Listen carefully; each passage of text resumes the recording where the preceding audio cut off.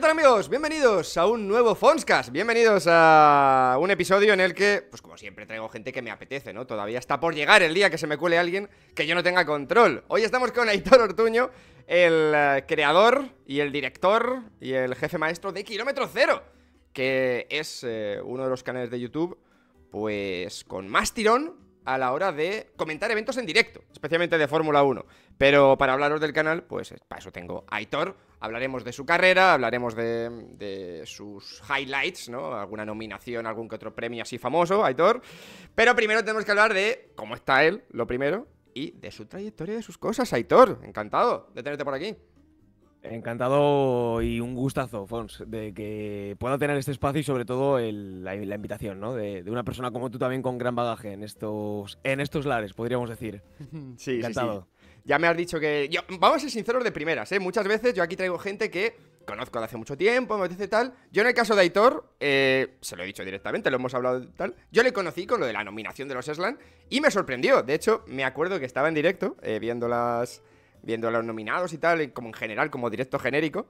Y lo primero que dije abiertamente, y ahí están las pruebas de, ¿este quién es? O sea, pero como, como, por sorpresa de, yo no lo he visto nunca. Luego miré los números y dije, pues es claramente mi problema, ¿no? Pero antes de llegar a eso, Aitor, eh, yo te quiero preguntar por mmm, cómo empiezas. ¿En qué momento te, te llama la atención uh -huh. el mundo de la comunicación? Después el mundo de la comunicación por internet. Si eres periodista, ¿no? También te quiero preguntar. Empecemos un poco por tu trayectoria, Aitor. Y, y, ya luego entramos a los temas más, más, Perfecto. más vitales. Pues fíjate que todo empieza con de una manera súper surrealista. Uh -huh. eh, hay un, un, juego que se llama IGP Manager, que es un juego de, de estrategia de, de, de Fórmula 1, totalmente gratuito en el móvil. Un día, a través de la pandemia 2020, empiezo a, aburrirme de jugar y empiezo a retransmitir las carreras. Digo, bueno, voy a grabarme con el iPhone, hago captura de pantalla, con, o sea, con el iPhone directamente, uh -huh. captura de pantalla al vídeo y empecé a subirlo a YouTube. Empecé a subirlo a YouTube eh, con la Liga Oficial Española, que era como se llamaba la liga donde yo estaba en ese momento. Y de repente digo, wow, pues me, me apetece ¿no? la comunicación, me apetece hacerlo, eh, a la gente le gusta. Y empieza a tener algo de repercusión dentro de. a, a nivel mínimo, ¿no? A, a, baja escala, a lo bajín, por así decirlo. Uh -huh. Y con el tiempo, va pasando el tiempo, pues eh, me voy comprando un portátil, luego me compro un ordenador, paso a hacer sim racing, ya voy como poquito a poco, voy haciendo sim racing, voy haciendo Fórmula 1 un poquito más real, de, de, videojuegos siempre y cuando, empiezo a tener mis primeros sueldos, de mis primeras, eh, de las primeras ligas y empiezo a formarme un poquito como narrador, como comunicador, hasta que conozco justamente a un compañero, que es el compañero a día de hoy, que es Nelson Guerire, que es el analista de, de Kilómetro Cero, y decimos, oye, ¿por qué no hacemos Fórmula 1 juntos? Si estamos narrando y estamos retransmitiendo tan juntos y estamos haciéndolo tan bien, uh -huh. eh, justamente con Sin Racing, ¿por qué no hacemos una plataforma de Fórmula 1? Ya existía lo que, lo que hoy es Kilómetro Cero, ¿no? Que era uh -huh. Ortuño TV, se llamaba antiguamente, pero estaba yo solo. Y a día de hoy, pues bueno, nos juntamos, empezamos a hacerlo Fórmula 1, eh, práctica 1, 2, 3, eh, clasificación, carrera, toda la cobertura del fin de semana, amplia y sin ningún tipo de, de, pérdida, con todo tipo de detalles, uh -huh. y a día de hoy pues se convierte en eh, la retransmisión líder de habla hispana. Sí, es que eso es lo más sorprendente. Igual, ya os digo, eh, cuando suba este Fonscast, a lo mejor hay gente tampoco que no te conoce, pero de verdad que a mí me sorprendió ver la cantidad de gente que mueves y con la gente con la que compites, porque yo es verdad que no hago contenido en directo, yo soy más de vídeos de opinión y tal, y alguna vez, algún directo, si puedo, mm, comento por encima de la clasificación, pero no me lo monto como tú, que lo haces muy bien. O sea, tú claramente te dedicas, de hecho, única y exclusivamente a eso, a las retransmisiones sí. en directo, porque luego tú no haces vídeos de opinión o, o tal. Eh, insisto, si veis el canal, yo, yo me sorprendió por. Claro, también es un contenido muy de nicho, ¿no? Es simplemente. Eh, las cobertura. carreras, las sesiones, cobertura. Exacto, es cobertura. Es, es cobertura máxima. O sea, claro. es, es, comunicar eh, cobertura de, del Campeonato Mundial de Fórmula 1. Claro, claro. Y, y, las cifras son muy buenas y la calidad es bastante buena. O sea, yo de verdad lo vi y vi cómo tenéis currada la intro, cómo se nota que os, que os, preparáis las cosas. Que no es cuestión de me voy a poner aquí con el micrófono a reaccionar. No, no. Esto está hecho claro. una, una, manera. Ahí está la diferencia, exacto. No es una reacción como, como mucha gente puede hacer, ¿no? Que también está muy bien. Sí, es otro contenido. Es cobertura. Es cobertura. Sí, sí, sí. Está, está, muy, muy completo. O sea que, claro, entonces empiezas hace tres años. Con la pandemia, ¿no? Hace tres años empiezas sí. un poco. Y antes Esta es la no cuarta tenías... temporada. La cuarta temporada. Hace... Esta es la cuarta temporada. ¿Qué, claro, ¿qué hacemos? Empiezas de, bueno, pues un poco por probar con el juego verde que yo me metí en tu canal, lo típico que tiras para atrás, dices a ver cómo empieza este chaval, y vi como vídeos de no sé qué GP Manager y no sabe ni qué Sí. era eso, la verdad, ¿no? no lo Sí, sí, pues ya te digo, yo, yo empecé y, y empiezo a hacer los vídeos porque mi mejor amigo me deja el portátil.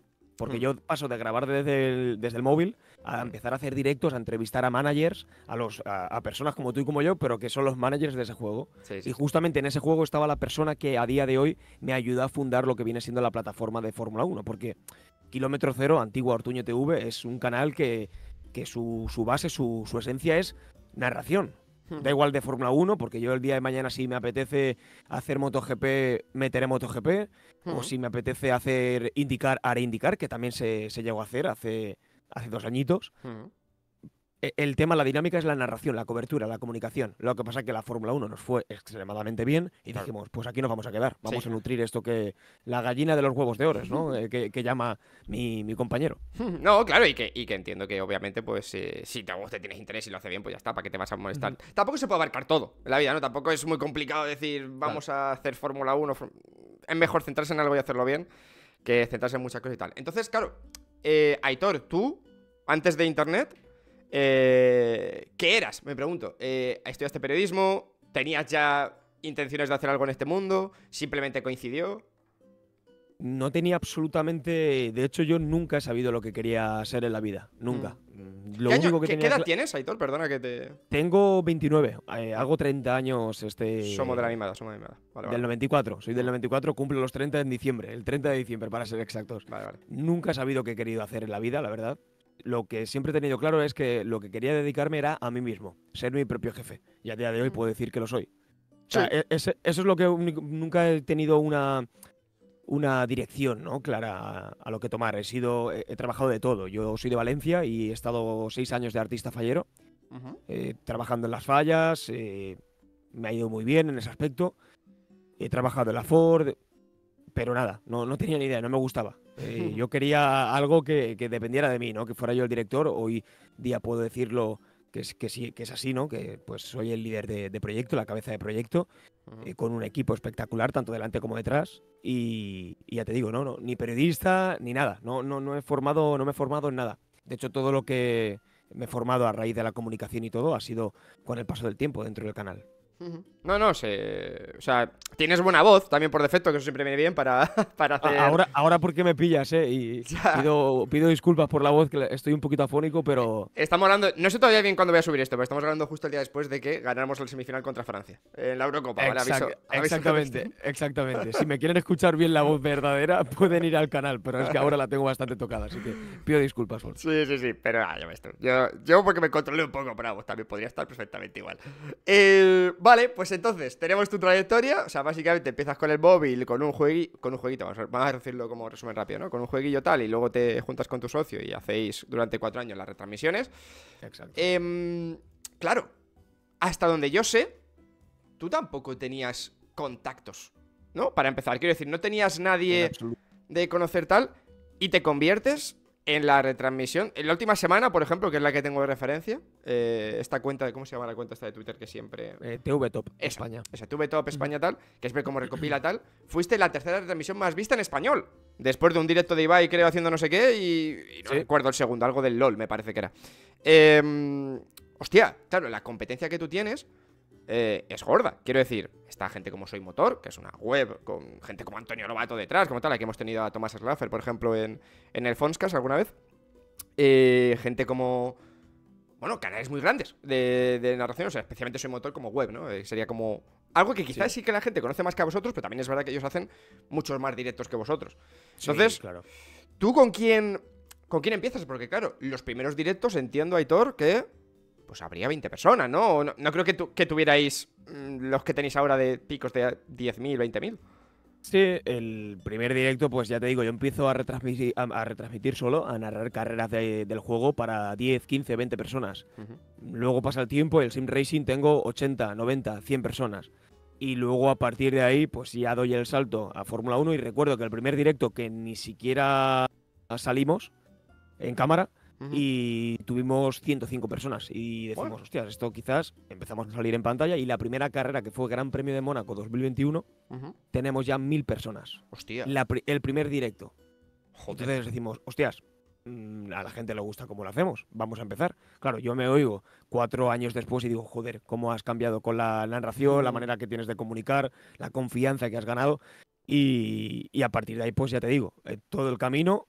A día de hoy, la, la máxima, el máximo que hemos tenido ha sido 48.000 personas en directo Sí, en verdad. el minuto de oro, en el Gran Premio de Miami de la temporada pasada y más o menos solemos oscilar entre, entre 20.000, 25.000 esta temporada que han bajado los números por, por, por temas obvios, ¿no? Como Checo Pérez ha bajado, Fernando Alonso ha bajado, pues, pero aún así siguen siendo unas cifras increíbles.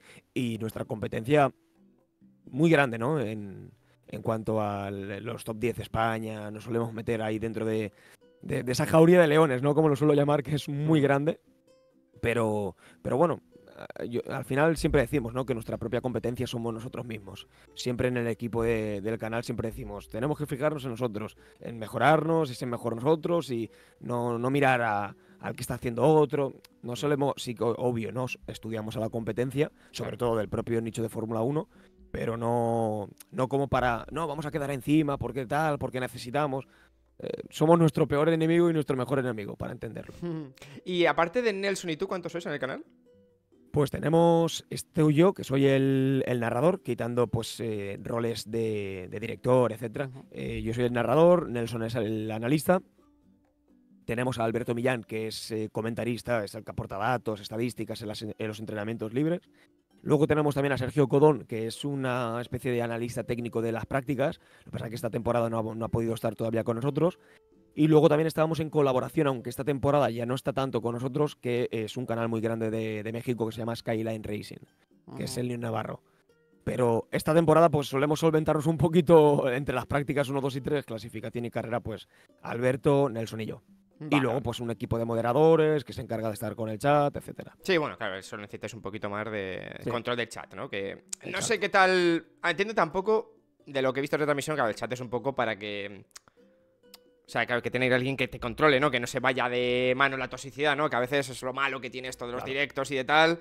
Que mucha gente es demasiado pasional y demasiado Sí. ir- irascible cuando no es necesario. tanta- Y con tanta gente pues es más imposible, es, es más complicado aún de controlar. Claro, que claro. Si a mí me cuesta a veces y, y no tengo los números ni de broma que tienes tú, imagínate como si tuviera 20.000 personas dando, dando los directos. Pues hablando ya de, mm, de esto, de tu, de tu trayectoria, vamos a hablar del momento en el que yo te conocí, que creo que mucha gente también te empezaría a conocer de fuera del nicho, que, que lo llamo nicho, aunque fueran 20.000 personas, en el sentido de, joder, a mí me sorprendiste como persona que, hostia, llevo un tiempo hablando de Fórmula 1 en Internet y no, no me sonaba tu nombre. Como tú decías, más o menos a veces estudias un poco la competencia. Es verdad que yo voy muy de por libre y no, no me gusta mirar el resto, también porque, bah, digo, yo voy a lo mío y ya está. Pero, ¿cuándo te nominaron a los Eslan de 2023? Porque, claro, muchos nos quedamos sorprendidos y dijimos, ¿este chaval quién es? Kilómetro cero, no me suena, tal. Este, ¿de, dónde, ¿De dónde ha salido, no? Claro, y luego yo, después de sorprenderme, dije, vamos a ver, y dije, hostia, pues no, el chaval tiene. Bueno, primero me rayé, porque claro, tú entras en tu canal de YouTube y vídeos no tienes, o tienes muy pocos, como raro, pero claro, todo está en la pestaña en directo. Es donde está tu. Exacto, todo está en directo. De Claro. hecho, ah, hubo alguna que otra crítica de algún streamer grande de, hostia, pero ¿cómo puede ser este chaval? Y luego cuando ve los directos dice, ah, pues sí. Claro, claro, claro. Ah, pues Entonces, sí. bueno, te pregunto primero, ¿qué tal la experiencia simplemente de ser nominado? Eh, ¿Cómo te enteras? ¿Te escribe el equipo de Gref, tal? ¿Simplemente te enteras por, por defecto? ¿Cómo, cómo es esa experiencia y cómo te cambia, si es que te cambia algo, eh, Pues muy buena la, pregunta. la fama? Muy buena pregunta porque justamente el día de, la- de las nominaciones, recuerdo que está a las 8 de la mañana, a las 8 de la tarde, perdón, y digo, wow, hostia, oye lo, lo de las lo de las eh, las votaciones, nominaciones de los Island tal, y digo, bueno, lo voy a ver. Claro, yo nunca imaginaba que iba a estar mi, mi canal en, en nominado y no, no, no pensaba en esas cosas, no pensaba, ni, ni siquiera le doy importancia a día de hoy, ¿eh? si te soy sincero. Sí. Y ahora te, y ahora te explico el porqué. Yo me voy a dormir, era las 8 de la mañana, en las 8 de la tarde, perdón, eh, me- mm, creo que cené y me fui a dormir. Y dije, Mm. bueno, y a las 4 de tanto vibrarme el móvil, ¿Cuánto de la mañana? noche- a las 4 de la mañana, de tanto mm, vibrarme el móvil que directamente lo tenía debajo de la almohada esa noche, me levanto y digo, ¿qué coño está pasando? digo, ¿qué es, ¿pero qué está pasando? ¿Cuántos mensajes por Twitter, por Instagram, por, por WhatsApp? Ortuño, Ortuño, Ortuño, que os han nominado, os han nominado. Digo, ¿Han nominado a qué? Digo, ¿nominado a qué? Hasta que veo que eh, me han nominado a, o sea, que sale mi marca, mi cara, Sí. y digo, hostia, Ortuño nominado, Kilómetro Cero nominado, eh, eh, Nelson nominado, todo el equipo nominado a, a, los Eslan. Y claro, ahí me quedo petrificado porque nunca pensábamos esto. O sea, nunca pensábamos que íbamos a estar en un alcance de, de gente pues que al final eh, se dedica a esto hace muchos años. El mainstream, vaya, lo que se hace como el mainstream, o sea, llega al mainstream, es como... Claro, sí, sí, dices, wow, está, está ahí tu marca, ¿no? Y, ya pues em, empiezas a ponerte en contacto con, cuando te levantas ya de buena mañana de nuevo, pues te pones en contacto con todo el equipo, ¿no? Para celebrarlo, oye, que nos han nominado, celebras pues, pues con la gente que, que ha crecido y que ha hecho crecer la marca, ¿no? Y pues fue, fue muy bueno, fue muy positivo, pero te digo algo, lo que más orgullosos sentimos en Kilómetro Cero lo más orgulloso y, realmente la esencia de Kilómetro Cero es que no tuvo que venir ni un Eslan, ni trabajar para Peter, ni nada para que los números crecieran. De hecho, lo que lo mejor de todo es que no le debemos nada a nadie porque todo nos lo hicimos nosotros. O sea, mm. las cifras que tenemos realmente no fue por no porque te juntaste con tal, nada, nada, nada. O sea, es algo que estoy súper tranquilo que hmm. a pesar de que ahora trabaje para Peter, que hayamos estado nominado, eh, nominados a los Eslan y todas estas cosas, eso no hizo, no hizo nada. De hecho, no me, no me cambió nada. Y la fama ni mucho menos, porque ya te digo, los números vienen de antes de todo eso. O sea, no, ha habido un aumento sustancial, ¿no? No, no, no, no, no, para nada, para nada. Para nada, en hmm. absoluto, en absoluto. mucha, gente, mucha gente se lleva sorpresa, ¿no? De que no te creas que muchas veces porque salgas en un evento grande o al lado de un streamer grande eso te va a hacer crecer. O sea, tienes que ser bueno de antes o de mal o te da, o te da igual, vaya. Sí, sí, sí, sí. a mí me pasó, ya te digo, yo no, no noté nada, no noté nada. Mm. Mis compañeros igual, aunque yo soy el que más expuesto está a estar en más eventos y tal, pero no hubo no hubo ningún cambio. Sí que es cierto, pues a lo mejor, hostia, pues no, estuviste nominado a los Eslan, que guay y tal, con Gerard Romero, con el Davo, con la Cobra y toda esta gente. Sí, claro, con, los más famosos de la cobertura deportiva, que generalmente es fútbol. Vaya, o sea, de hecho, claro, todo el único canal, fútbol.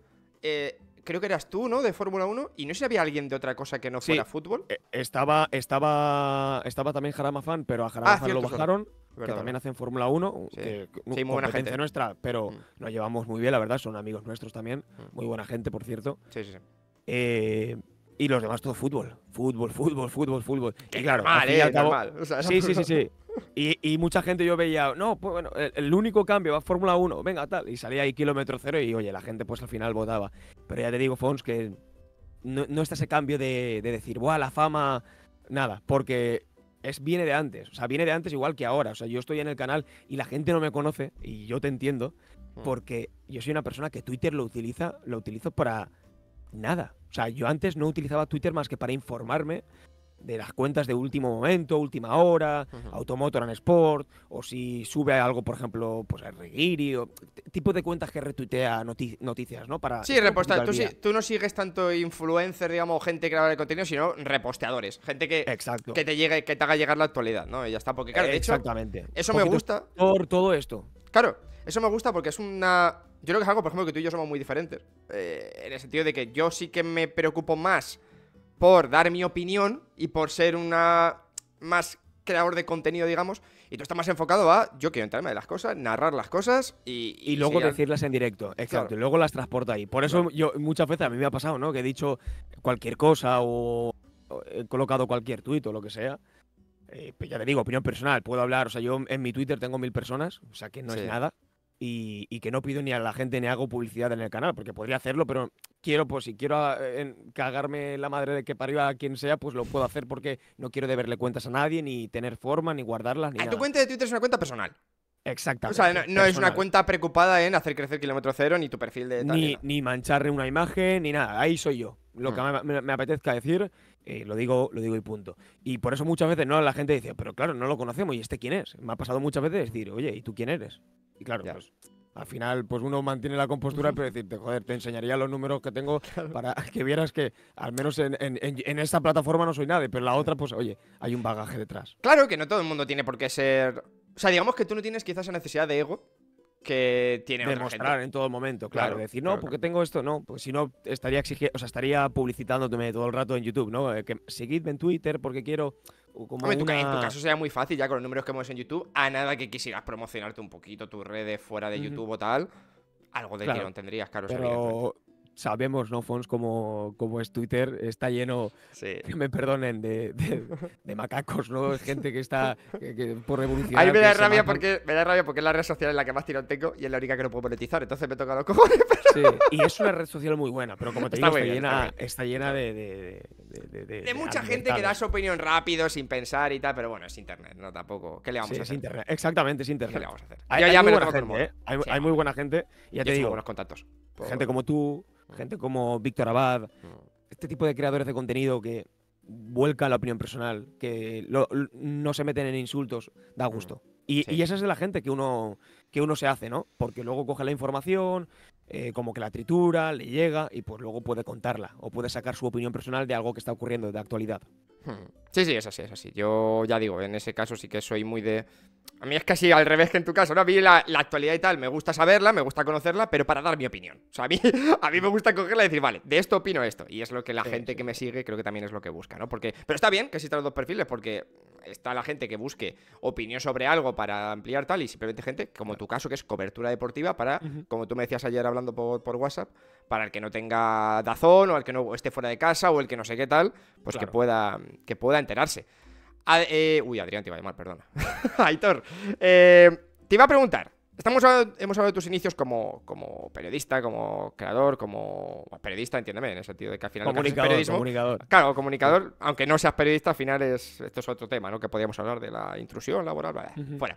Eh, quiero preguntarte cómo empiezas tú a interesarte por la Fórmula 1, Fórmula 1 competición, de, de, hostia, ¿en qué momento te enganchas? Porque por edad a mí me cuadra que seas un caso como el mío de Alonso Manía 2005, 2003, 2000 tal.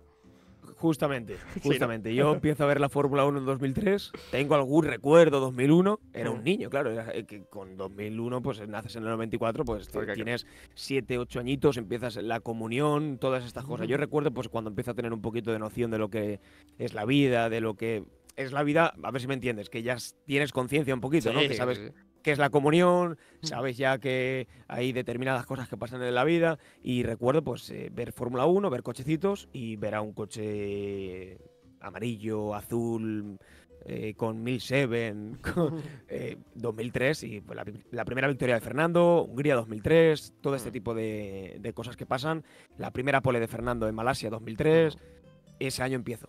Empiezo a, a ver coches y claro, lo primero, ¡buah! Un español un español, ¿eh? Ah, el español, el español, el español. Y empiezo a, interesarme, interesarme como niño, como fan. Y bueno, pues empiezo, empiezo, empiezo. 2004 ya es mi primera temporada al completo, porque claro, ya empiezas a tener un interés más grande. Y luego ya viene la época dorada. En la época 2005, 2006, de mm. no perderte nada, de quedarme en casa cuando mis padres eh, tenía que ganarme. Yo me ganaba la confianza de mis padres para que me dejaran solo en casa en pleno verano, para no irme a la playa con ellos y que me dejaran, por favor, ver, por ejemplo, la carrera de Nürburgring cuando a Raikkonen le peta el neumático antes de la curva 1 por la vibración que llevaba. yo, si me hubiera ido a la playa, me hubiera perdido esa carrera, pero gracias a ser a comportarme bien y ser responsable, pues me dejaron quedarme solo en casa ese día de verano, ¿no? Y así muchas, así muchas. Y hasta el día de hoy, pues toda, toda la Fórmula 1 me, interesó, me, gustó siempre la, competición, la velocidad, la, la, forma ¿no? que Lobato nos metía dentro en aquellas épocas, de vibrar, de la tensión, la competición, muy bonito. Creo que para nuestra generación la mezcla fue perfecta. Y en nuestra generación hablo dos años más, dos años menos, incluso cinco más, cinco menos. No, no, no digo exactamente del orden del 94, pero sí que esa mezcla de haber vivido los momentos más brillantes de un piloto español empezando con 9, 10, 11 añiñitos, que te pilla en plena infancia, plena nostalgia. Eh, la mezcla también lo que tú dices de las narraciones de Lobato, que eran muy, muy épicas en el momento tal. y ahora sigue, sigue haciéndolo muy bien.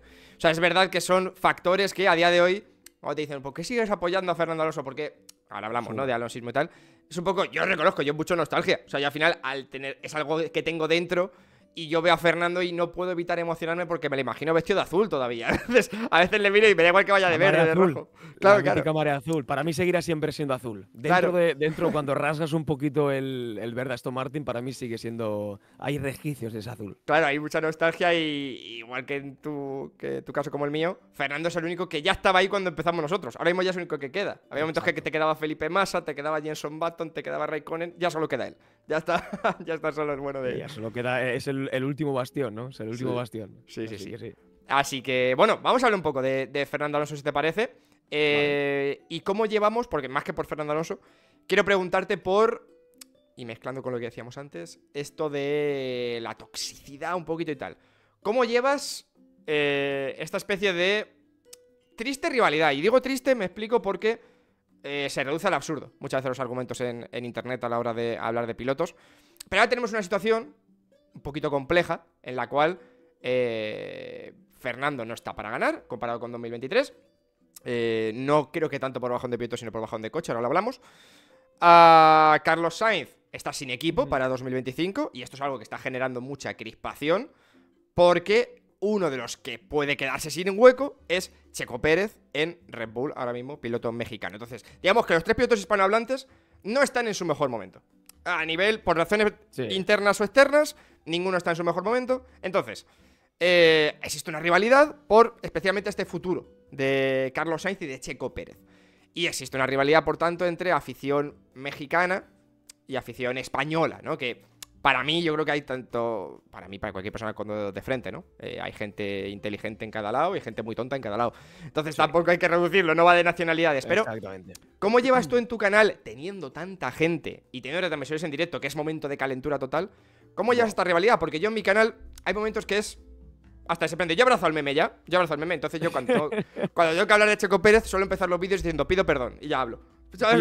Sí, sí, sí. No, no, es, es- es muy buena pregunta. Es muy buena ¿Qué pregunta. tal lo llevas, tío? porque, Porque, wow, es el- la toxicidad es alta. Es alta. eh, normalmente, mi comunidad, eh, la verdad que es muy buena. O sea, lo que viene siendo kilómetro cero, la, la- la gente que hay, la gente que nos escucha, los oyentes, más que espectadores oyentes, son muy buenos, son muy inteligentes, son gente muy, muy culta, que lleva tiempo viendo Fórmula 1.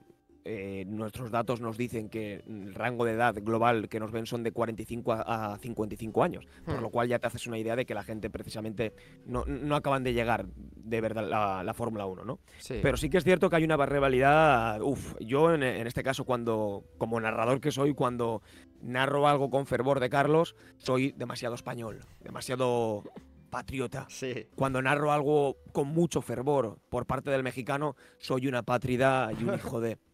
Eh, cuando critico a Carlos porque ha cometido algo, que Sí. es mi deber como narrador, Sí. porque mi señal es internacional, Sí. no española solo, y critico de manera constructiva algo que ha hecho, ¿no? El Bueno, piloto das tu madrileño. opinión, porque al final, aunque sea el narrador, el narrador a veces Claro. tiene que opinar, no puede ser Tengo un opinar, objetivo, claro. mi compañero es el analista Claro. y es el que tiene que analizar y dar un punto de vista muy concreto de lo que está ocurriendo, ¿no? O sea, Mm. yo siempre digo que yo mm, co- a- narrando es, cuento qué pasa y él cuenta por qué pasa, pero Mm. yo también doy mi opinión, por supuesto. Claro.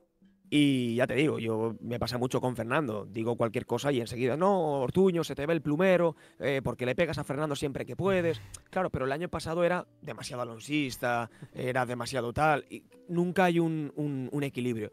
Entonces, claro, en la toxicidad yo me doy cuenta de una cosa: que cuando uno te dice que eres anti y el otro te dice que eres pro, Ya. esa es la mejor resolución Sí. y el mejor resultado que una persona misma tiene para darse cuenta de que sí realmente está siendo objetiva. Sí. Cuando hay unos que te dicen pro y otros dicen anti, Sí. ahí te das cuenta de que estás haciendo un excelente trabajo. Pero entre ellos se matan.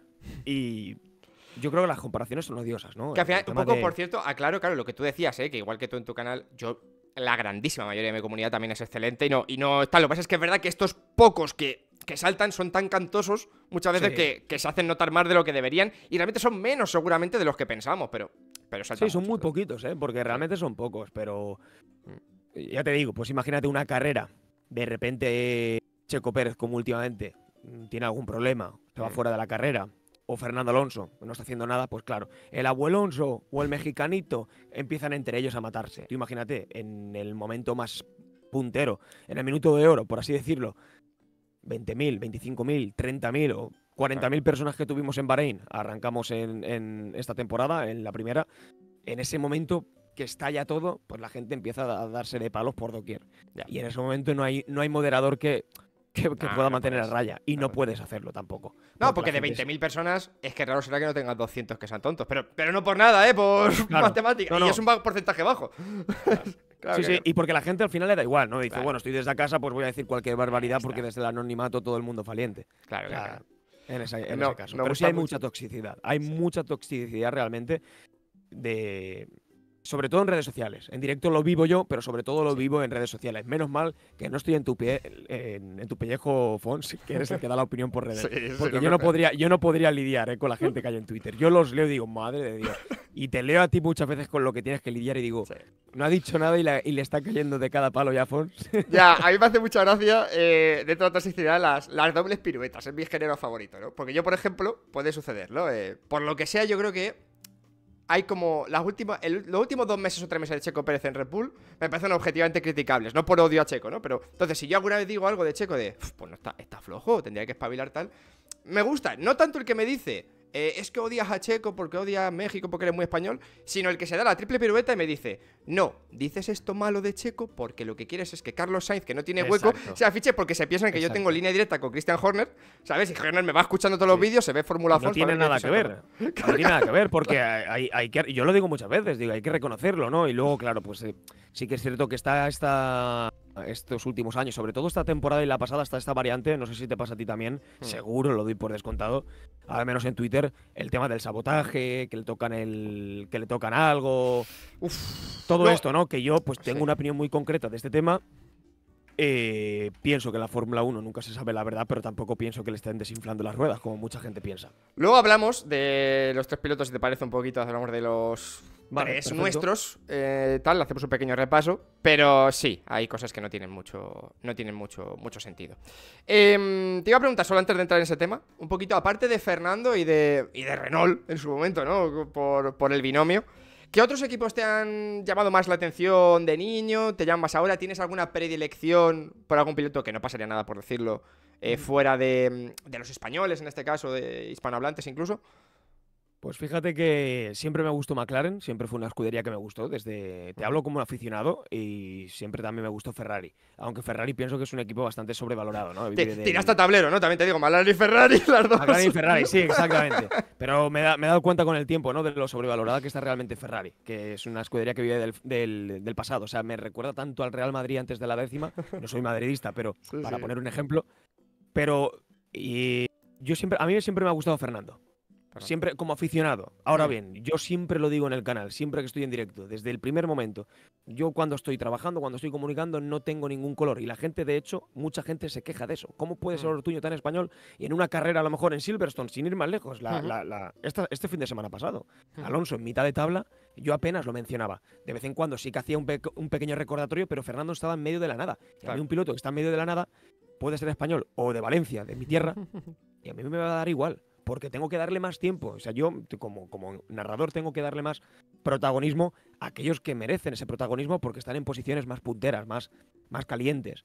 Oh, Entonces, ya sorprendentes para el coche que lleva, ¿no? Por ejemplo, Hulkenberg en la última carrera, pues era sorprendente que fuera sexta posición. Y, y, eso ya es motivo muchas veces de, no, Ortuño, tal, eres alonsista, pero luego cuando hablas demasiado, no, ¿cómo se nota esta gente? Siempre Fernando, ¿cómo le limpian el...?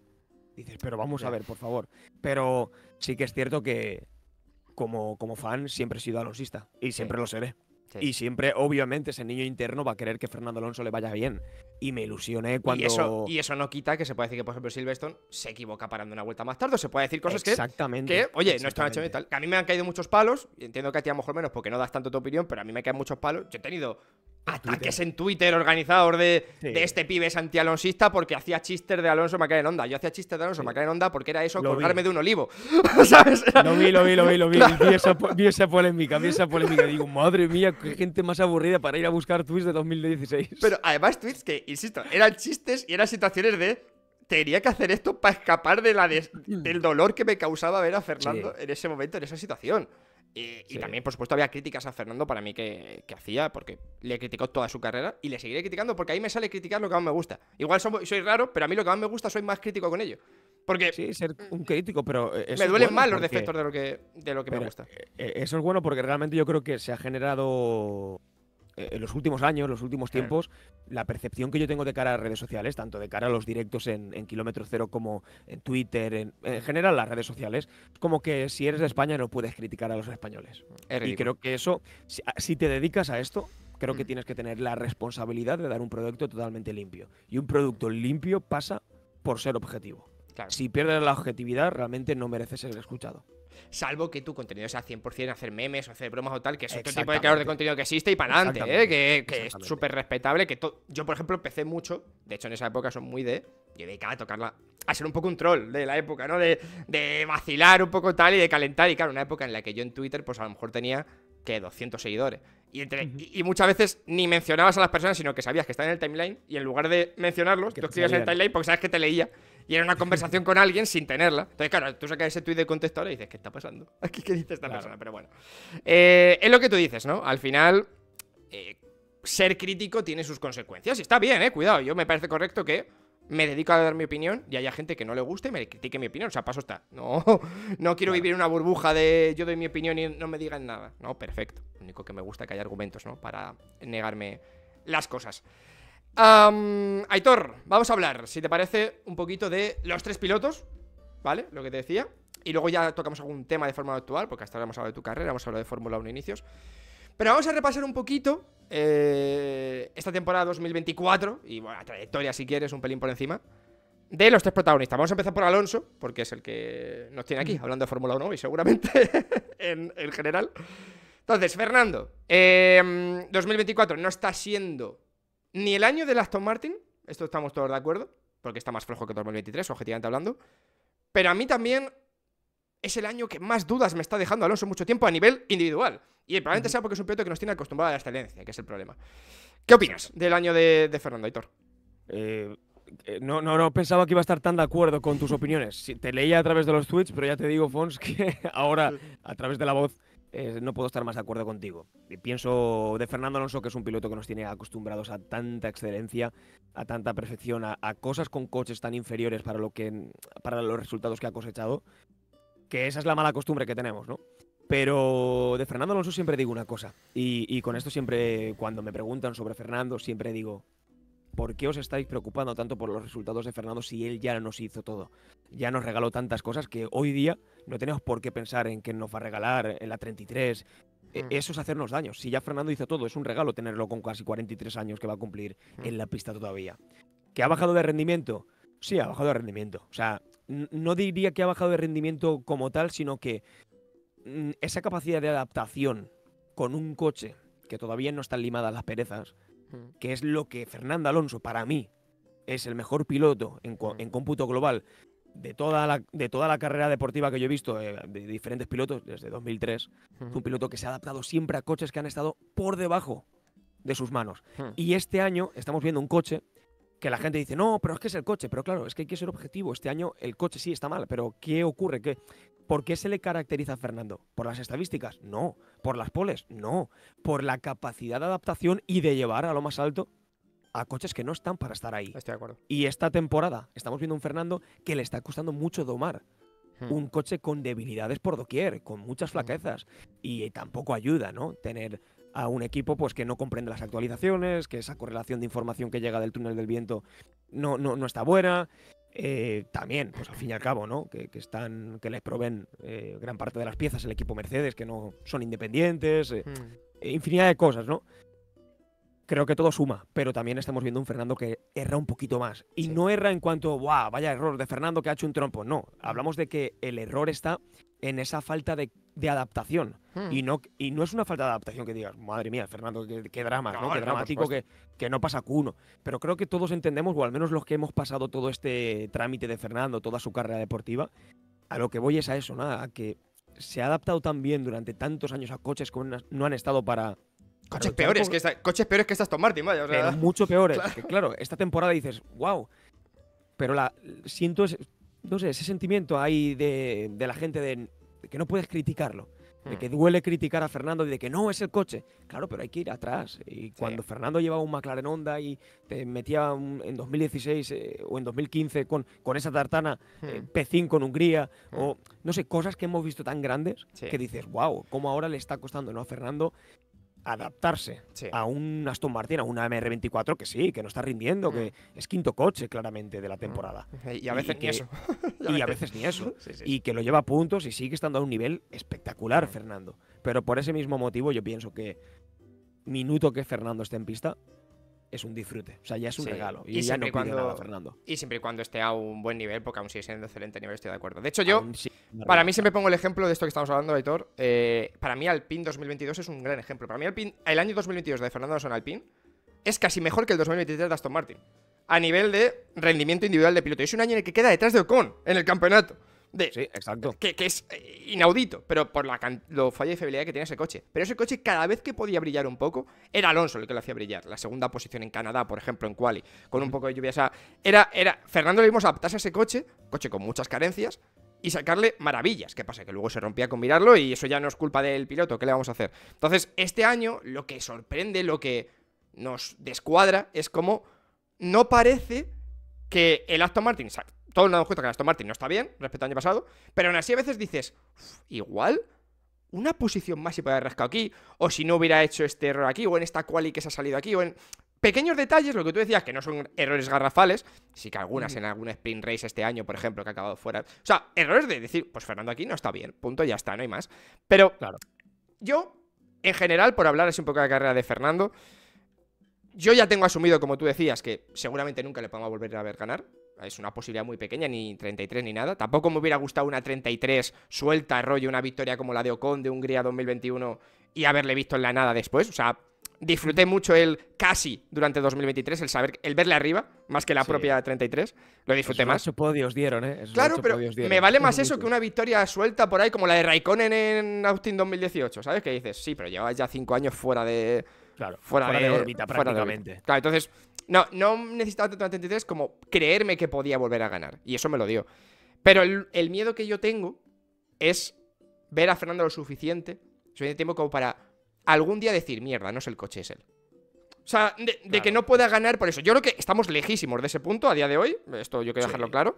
Pero es verdad que ese miedo lo tengo. Y que pueda dar un bajón de verdad, porque puede pasar. Y que algún día diga, mierda, es que el Aston Martin eh, igual no es quinto coche, igual es tercero y es Fernando el que no está siendo capaz de tal. Ese miedo lo tengo, yo lo reconozco. Eh, no me gustaría que después de tantos años, como tú decías, de Fernando sufriendo con coches de media tabla, que todo el rato te quedabas tranquilo porque decías, buah, es que el McLaren es el noveno coche, pero no soy capaz de meterlo octavo porque este tío es. Lo, lo- lo- lo lleva, lo lleva arriba. Eh, que algún día la situación se tuerza. A mí me- eso me dolería. Creo que no va a pasar y creo que Fernando es inteligente y si algún día teme que eso pueda pasar, él va a dar un paso al lado. Pero es un pequeño temor que, que tengo. Estamos lejos, Sí, ¿eh? De, de que suceda. Eh, eh, es que justamente es lo que, lo que has comentado, ¿no? La temporada, la temporada 2022, o sea, la gente... de- no, pero el, el- el típico pique que hay, ¿no? Sí. Eh, con, con mexicanos, con argentinos, españoles en, en Twitter. No, pero Ocon le ganó. Pero claro, justamente lo que la gente no se da cuenta, o la, la nueva generación que llega a la Fórmula 1, que cree, yo siempre digo, para mi punto de vista, eh, cada uno obvio tiene su, el suyo, pero aquí siempre me meto en, en- en debates eh, calurosos ¿no? con, con nuestra comunidad. Pero yo digo, para mí la estadística en Fórmula 1 es la gran mentirosa. Es la peor prueba, o, o mejor dicho, el peor juicio que puedes emitir a un piloto. Es la Mm. peor manera que puedes juzgar. Y Ortuño, ¿tú cómo juzgas a un piloto? Y yo siempre digo lo mismo, por la capacidad de adaptación y por la capacidad de extracción a un coche que no está para grandes cosas y aún así lo lleva hacia ellas. Hmm. Para mí eso es más válido que tener 10 títulos mundiales. Y no hablo por nadie. Sí, sí, y a la vez hablo por todos. Para mí la estadística en la Fórmula 1 es la gran mentirosa, ¿no? Pero estadística debe de haber siempre, por supuesto. Pero hay una estadística que es más importante. O sea, eh, ¿qué es más fácil? ¿Subir cuatro pisos con dos mancuernas de 10 kilos o sin ninguna mancuerna? Mm. Ahí está la gracia. Para mí ahí está el... Para mí Yo- ahí está, ahí está lo, lo bello de este deporte. Yo lo resumo muchas veces en las estadísticas en Fórmula 1 están bien, pero ver Fórmula 1 está mejor. Si te, si- Exactamente. si te molesta en verlo, tú entiendes por qué 2022 la temporada de Alonso es mejor que la de Ocon. O sea, tú ves las Sí, estadísticas sí, sí. y dices, hostia, pues sacó, no sé si le ganó por 10 puntos, no me acuerdo ahora mismo, creo que le metió 10 puntos así con más o menos a, a Fernando. Tú ves las Y estadísticas y dices, fiabilidad y todo lo que tú Claro, claro. digo, que tú ves las estadísticas y dices, vale, ha quedado por detrás, ¿no? En 2050, a lo mejor yo ya estoy viejo y estoy un poco cucu bananas y ni me acuerdo y veo la estadística y digo, uy, este año lo tuvo que hacer mal Alonso.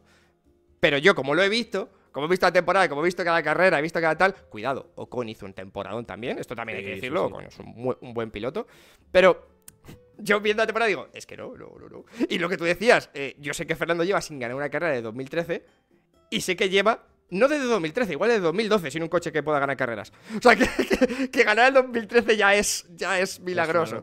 Claro, entonces, eh, entendiendo esto, eh, pues lo que tú dices, ¿no? Que las estadísticas. A ver, creo que es importante en el sentido de que muchas veces, por ejemplo, contra el compañero de equipo es la estadística más útil, siempre, siempre ¿no? A pesar de que pueda haber excepciones, como lo que decía, ¿no? En este caso, Alpine 2022, pero es verdad que es como un baremo que a veces hay que coger un poco para justificar algún que otro argumento a la hora de hablar, pero con sentido y con habiendo visto estas temporadas. Tú no puedes coger un dato. Yo no puedo coger un dato ahora mismo de la temporada 1973 de Fórmula 1 Claro. entre los compañeros de equipo porque yo no la vi y, y- y sacar una conclusión tal. Puedo sacar una aproximación. Hombre, si veo que este le ganó 10 veces al otro, 10-0, pues doy por hecho que era Claro, mejor. ahí- Pero, pero, pero no puedo asegurarlo, no puedo tal, porque a lo mejor el que cero se le rompió todas las carreras. Eh, O sea, quiero decir que es muy complicado hablar de Fórmula 1 sin verlo. De hecho, la Fórmula 1, y esto es otra conversación que muchas veces tengo, es la competición más compleja de analizar.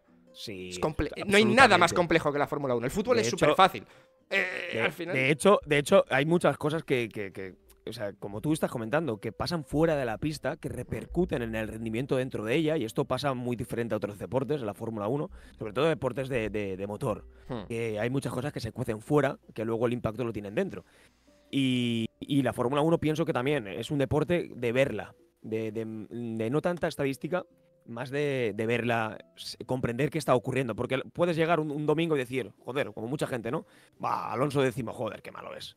Pero claro, no has visto qué ha pasado en práctica 1, práctica 2, esas simulaciones de carrera, esas simulaciones de, de clasificación, cómo se le ha complicado, las declaraciones del director de rendimiento, de Tom McCullough, las declaraciones del director técnico, de Dan Fallows, luego las correlaciones con las de Simone Berra, el ingeniero jefe de Pirelli, de Mario Isola, el máximo directivo de Pirelli en la Fórmula 1, para entender qué está ocurriendo, la- sacar tu propia conclusión. Y además, pero- cosas que dice, la gente no se calienta, la gente Claro. dice, Alonso, décimo, eh, Hamilton primero. Bah, Sí. Hamilton número Claro, uno, claro. el mejor. Y, y además, permite, permite que te interrumpa, claro. Las declaraciones de directivos tal, sabiendo que además te pueden estar mintiendo. Que, yo- que yo, que yo Exactamente, Que yo es esto es algo que me gusta mucho. Que muchas veces otra, sale. el, el juego del despiste. Claro, que muchas veces sale, eh, por ejemplo, sin ir más lejos, creo que en la última carrera, Ricciardo, eh, el hombre salió después de la carrera, tuvo un ritmo bastante malo, y dijo que "Uf, van a tener que encontrar un agujero en mi coche o algo porque iba muy despacio y no me lo explico. Y creo que salió, eh, no sé si Mikis, no recuerdo bien, a decir que sí, sí, había un problema el coche técnico de Ricciardo. Yo ahora no sé si había un problema técnico del coche de Ricciardo o realmente Ricciardo ese fin de semana no estuvo bien por lo que sea y el equipo le ha decidido echar un capote y ya está. O sea, que hay que, hay que jugar muchas veces con... eh, no nos van a decir toda la verdad, nos van a decir lo que tienen que decir. Claro, lo que tienen que decir, Claro. lo que lo que ellos quieran también Claro. para, para su propia para su propio beneficio, tanto mediático como deportivo, porque saben que la psicología para el piloto, bueno, justamente metiste al mejor ejemplo, Ricardo. Claro. Que vaya ejemplo perfecto que pusiste para, para el caso. Sí, sí, sí. Pero ya te digo que es, es muy curioso porque la Fórmula 1 Es eh, es muy compleja. Y, y claro, luego ya, pues, determinaciones. Ya si hablamos de reglamento, de la FIA, de, de cómo maniobran, de cómo hacen las cosas, pues todo condiciona mucho. Es un deporte muy complicado que yo creo que ni siquiera lo- los expertos, que Mm. yo no me considero experto, yo me considero un comunicador, un aficionado más, Mm. que tiene la, la gran dicha y el gran honor de, de poder ser la voz para miles de personas, ¿no? Cada fin de semana. Pero Mm. aparte de eso, soy una persona que da mi punto de vista y que se puede equivocar como, como el que otro, ¿no? Como No, claro, eh, claro, cualquier, claro. cualquier otra persona. Pero sí que es verdad que he aprendido, ¿no? Durante 22 años, creo, desde el Ujú. 2003, 22, 23, ven- sí, 21, 22 años llevo viendo Fórmula 1, que la estadística es la gran mentirosa. Es la, la frase. Para mi punto de vista Sí. es eso. Y no es que, uy, entonces lo- los siete de Hamilton son ilegítimos. No, no, no, no tiene nada que ver. No, no, no, Quien entienda, quien entienda, entienda. Claro. O sea, quien entienda esa frase de que la estadística es la gran Es- es- Es sencillo, al final, en Fórmula 1 solo puede ser tan bueno como tu coche te lo permita. Sería la frase que muchas veces se luce y ya está. Entonces, a partir de ahí, yo a veces lo reduzco, ¿no? Y suena absurdo cuando hablas con gente que no sigue a Fórmula 1, que digo, hay carreras que la ganan cinco pilotos, ¿eh? O sea, para mí el otro día, en Silverstone, por ejemplo, ¿no? Por ir al ejemplo más reciente, espero no subir este Fonscar después de, después de Silverstone, que si la gente va a perder, pero en Silverstone para mí hay un ganador, que es Hamilton, el objetivo, pero creo que Hulkenberg también ganó la carrera. Exactamente. O sea, Hulkenberg quedando sexto con el Eso es lo que venimos hablando. me parece Eso una es lo que victoria. venimos hablando. Claro, hay, hay- o sea, hay pequeñas victorias. Y creo que Norris, aunque quedaba tercero, igual es el gran perdedor de la carrera ¿Y qué, por, estadística. ¿Y qué estadística tiene Hulkenberg? Ahí Ninguna. está. ahí no tiene ninguna. No tiene es un podio, piloto, bajo mi punto de vista, muy completo y me encanta Sí, que me Audi mucho. le haya dado una oportunidad. Sauber, en este caso, todavía Sí. antes de la, de la transición. Sí. ¿Y qué estadística tiene? Ninguna. Mm. De hecho, creo que. No, no ha subido al podio nunca. No, nunca, nunca, nunca. O sea, es una locura, es una barbaridad. Sí. Y dices, wow, ¿y cómo juzgamos a este piloto? Pues por lo que está, Viéndolo. cómo está llevando el Haas. Viéndolo, viendo las Eh, carreras. Es así, es, Claro. es que en un deporte, en un Claro. deporte donde el coche es el 80%, y Sí. quizás hasta me quedo corto, Sí. ¿cómo vamos a juzgar? Es que es de primero de, de primaria. Mm. Es de primero de primaria, pero la gente, claro, se empeña en entre las banderas, entre los fanatismos, entre tengo que apoyar este porque es de mi país. Muy está bien, eso, ¿eh? todo eso está perfecto, pero para juzgar no vale. Mm. No puedes hacerlo. No, no, no, no, no va a haber algo ecuánime, no va a haber algo real, no va a haber algo objetivo que vayas a decir por, por tu boca, por, no va a salir nada y, que, no- objetivo. y que- y que nunca vamos a comprender del todo la situación de ningún piloto en ningún coche. Quiero decir, trabajamos con nosotros, como tu caso, como, como comunicadores, los dos, digamos, aunque tú seas Sí. más de narrar y yo de opinar. Trabajamos con un proceso de información muy pequeño. Realmente no sabemos qué está pasando dentro de Aston Martin. Realmente no sabemos qué está pasando dentro de la cabeza de Fernando. No sabemos qué está. O sea, trabajamos con un 25% de información y el 75% restante lo tenemos que rellenar nosotros. Con. creyendo que será por aquí, por aquí y tal. y- Elucubrar, ¿no? Elucubrar. eh, Claro, elucubrar. Hipótesis, hipótesis, por eso hipótesis. yo, muchas veces, a mí la gente a veces me dice la típica de te estás fumando un porro, no sé qué tal. Cuando escucho una declaración de un director y digo, pero no ha querido decir esto. O sea, cuando. Yo, por ejemplo, este año, ¿no? Eh, y ahora hablamos también de Sainz de Checo, no me quiero liar por aquí. Pero, por ejemplo, este año, em, Toto Wolf hablando de Verstappen. ¿Cuántas veces Toto Wolf ha dicho este año? "Ah, Verstappen estaría bien en Mercedes tal. Sí. Yo creo que Toto Wolff no tiene ninguna intención de descontratar a Verstappen. Lo único que quiere es desestabilizar a Red Bull y generar conf- Exactamente. y, y esto, claro, si a- alguien me llega por el chat y dice, no, pero si Toto Wolff ha dicho que quiere a Verstappen y yo, ya, pero no. O sea, yo. yo También, dijo hace dos semanas en el Gran Premio de España, a GP, Sainz, perdón, casual, ¿eh? que lo de, lo de que habíamos hablado con Antonelli y que ya le hemos hecho llegar a Sainz y la semana pasada en Silverstone te dice aún hay una pequeña oportunidad de que Carlos sí, eh, que pueda estar con nosotros. Lo que pasa que Carlos necesita una respuesta ya y nosotros no son podemos políticos, darle el es, tiempo es- que es que son Claro, es- políticos, saben, saben hacer muy bien saben el. hacerlo muy bien. Entonces a mí muchas bien. veces no me gusta tanto lo que dice el director, lo que dice tal, sino lo que creo que está diciendo. Lo Sí. que creo que porque lo dice, pero eso ya, claro, es elucubrar, ¿eh? Por supuesto. Porque igual realmente sí que Toto Wolff tiene intención de fichar a Verstappen y no tal. Pero bueno, de conocerlos y de tal, pues vas, va a ser. Y me parece Ahora, muy divertido. esto. fichar a Verstappen creo que los 10 equipos de la parrilla lo Pues quieren. claro, claro, porque, claro, claro, porque no, pero digo que realmente tenga intención, ¿no? De, de hacerlo, Sí. es lo que veo complicado. Estaría guapísimo, ¿eh? Por cierto. Pero vamos a hablar, si te parece, de fichajes, que, de gente que sí necesita asiento, ¿no? Porque hemos hablado de Fernando, le hemos repasado un poquito. Vamos a hablar de Carlos Sainz, porque ahí vimos el que no tiene asiento para 2025. En ese febrero tan loco que vimos, ese inicio de mes, en el que el rumor tonto que se lleva diciendo 10 años, de sí, hombre, sí, que Hamilton se va a ir a Ferrari, de repente se volvió real. de la noche a la mañana fue como. Qué locura. Eh, no, no, que Hamilton va a Ferrari. En serio, yo, la de veces que tú actualizar la cuenta de la Fórmula 1, de todo, esto tiene que ser fake, tiene que ser fake. Para ver si era real, ¿no? Sí, sí, sí, fue un bombazo, ¿eh? Fue un bombazo. Entonces, esto provoca que Carlos Sainz, yo creo que sin haberlo hecho mal en Ferrari desde luego estos años, se quede sin asiento. Porque es verdad que aunque no lo hagan mal, si Hamilton llama para querer ir a tu equipo, no hay piloto que se salve. en general, de toda la parrilla te diría, prácticamente. Entonces, eh, bueno, de esto de Hamilton me dices ahora, ¿qué, qué te pareció? Pero, ¿qué pasa con Sainz el año que viene? Porque se le está complicando la cosa. Yo, mira, primeramente con lo de Hamilton me alegré. Sí. Yo me alegré porque creo que es un piloto que, estadísticamente hablando, es el más laureado. Eh, sea fe- eh, la estadística sea eh, falsa o sea. Objetivamente verdadera, es así, lo- ya está. Lo que hemos hablado, ¿no? De que la estadística es la gran mentirosa, es el más laureado y objetivamente es lo que hay. Mm. Y hay que respetarlo. Un tío como Hamilton también que ha dado tanto a la Fórmula 1, tantas alegrías, tanta tensión, tanto el malo de la película cuando Ujú. arrancamos viendo la Fórmula 1 en aquellos años, eh, creo que merece irse por lo más alto. Y a mí me encantaría ver el octavo. Me encantaría, me encantaría verlo por lo más alto, yo lo digo. Lo digo Mm. en directo delante de la gente y perfectamente me parece que, que Ferrari, obvio. Tenía que quitar alguno de los dos. Y estaba claro que el protegido de Ferrari y Leclerc no lo iban a quitar. Estaba claro, yo, lo tenía, yo no tenía ningún tipo de duda. Que fue cruel porque justamente es cuando Carlos estaba haciendo lo mejor. También te digo que sí. Sí, Pero claro, tienes que decidir, no hay tres coches. claro. Te va a venir un siete veces campeón del mundo. Un, un campeón que sabe que te va a dar mucho, no solo dentro, sino fuera de la pista. Y Ferrari ya empezó ganando la temporada que viene. Mediáticamente ya la empezó Sí, ganando. sí, ya se ha ganado. sí, sí. Eso- esa broma que siempre decíamos, ¿no? Durante todos estos años, que Ferrari siempre es la, la campeona de la pretemporada, pues ahora es la campeona de la pre-pretemporada y veremos a ver si también de la pretemporada. Sí, sí, sí. Me pareció muy bien el fichaje. ¿Y a dónde va Carlos?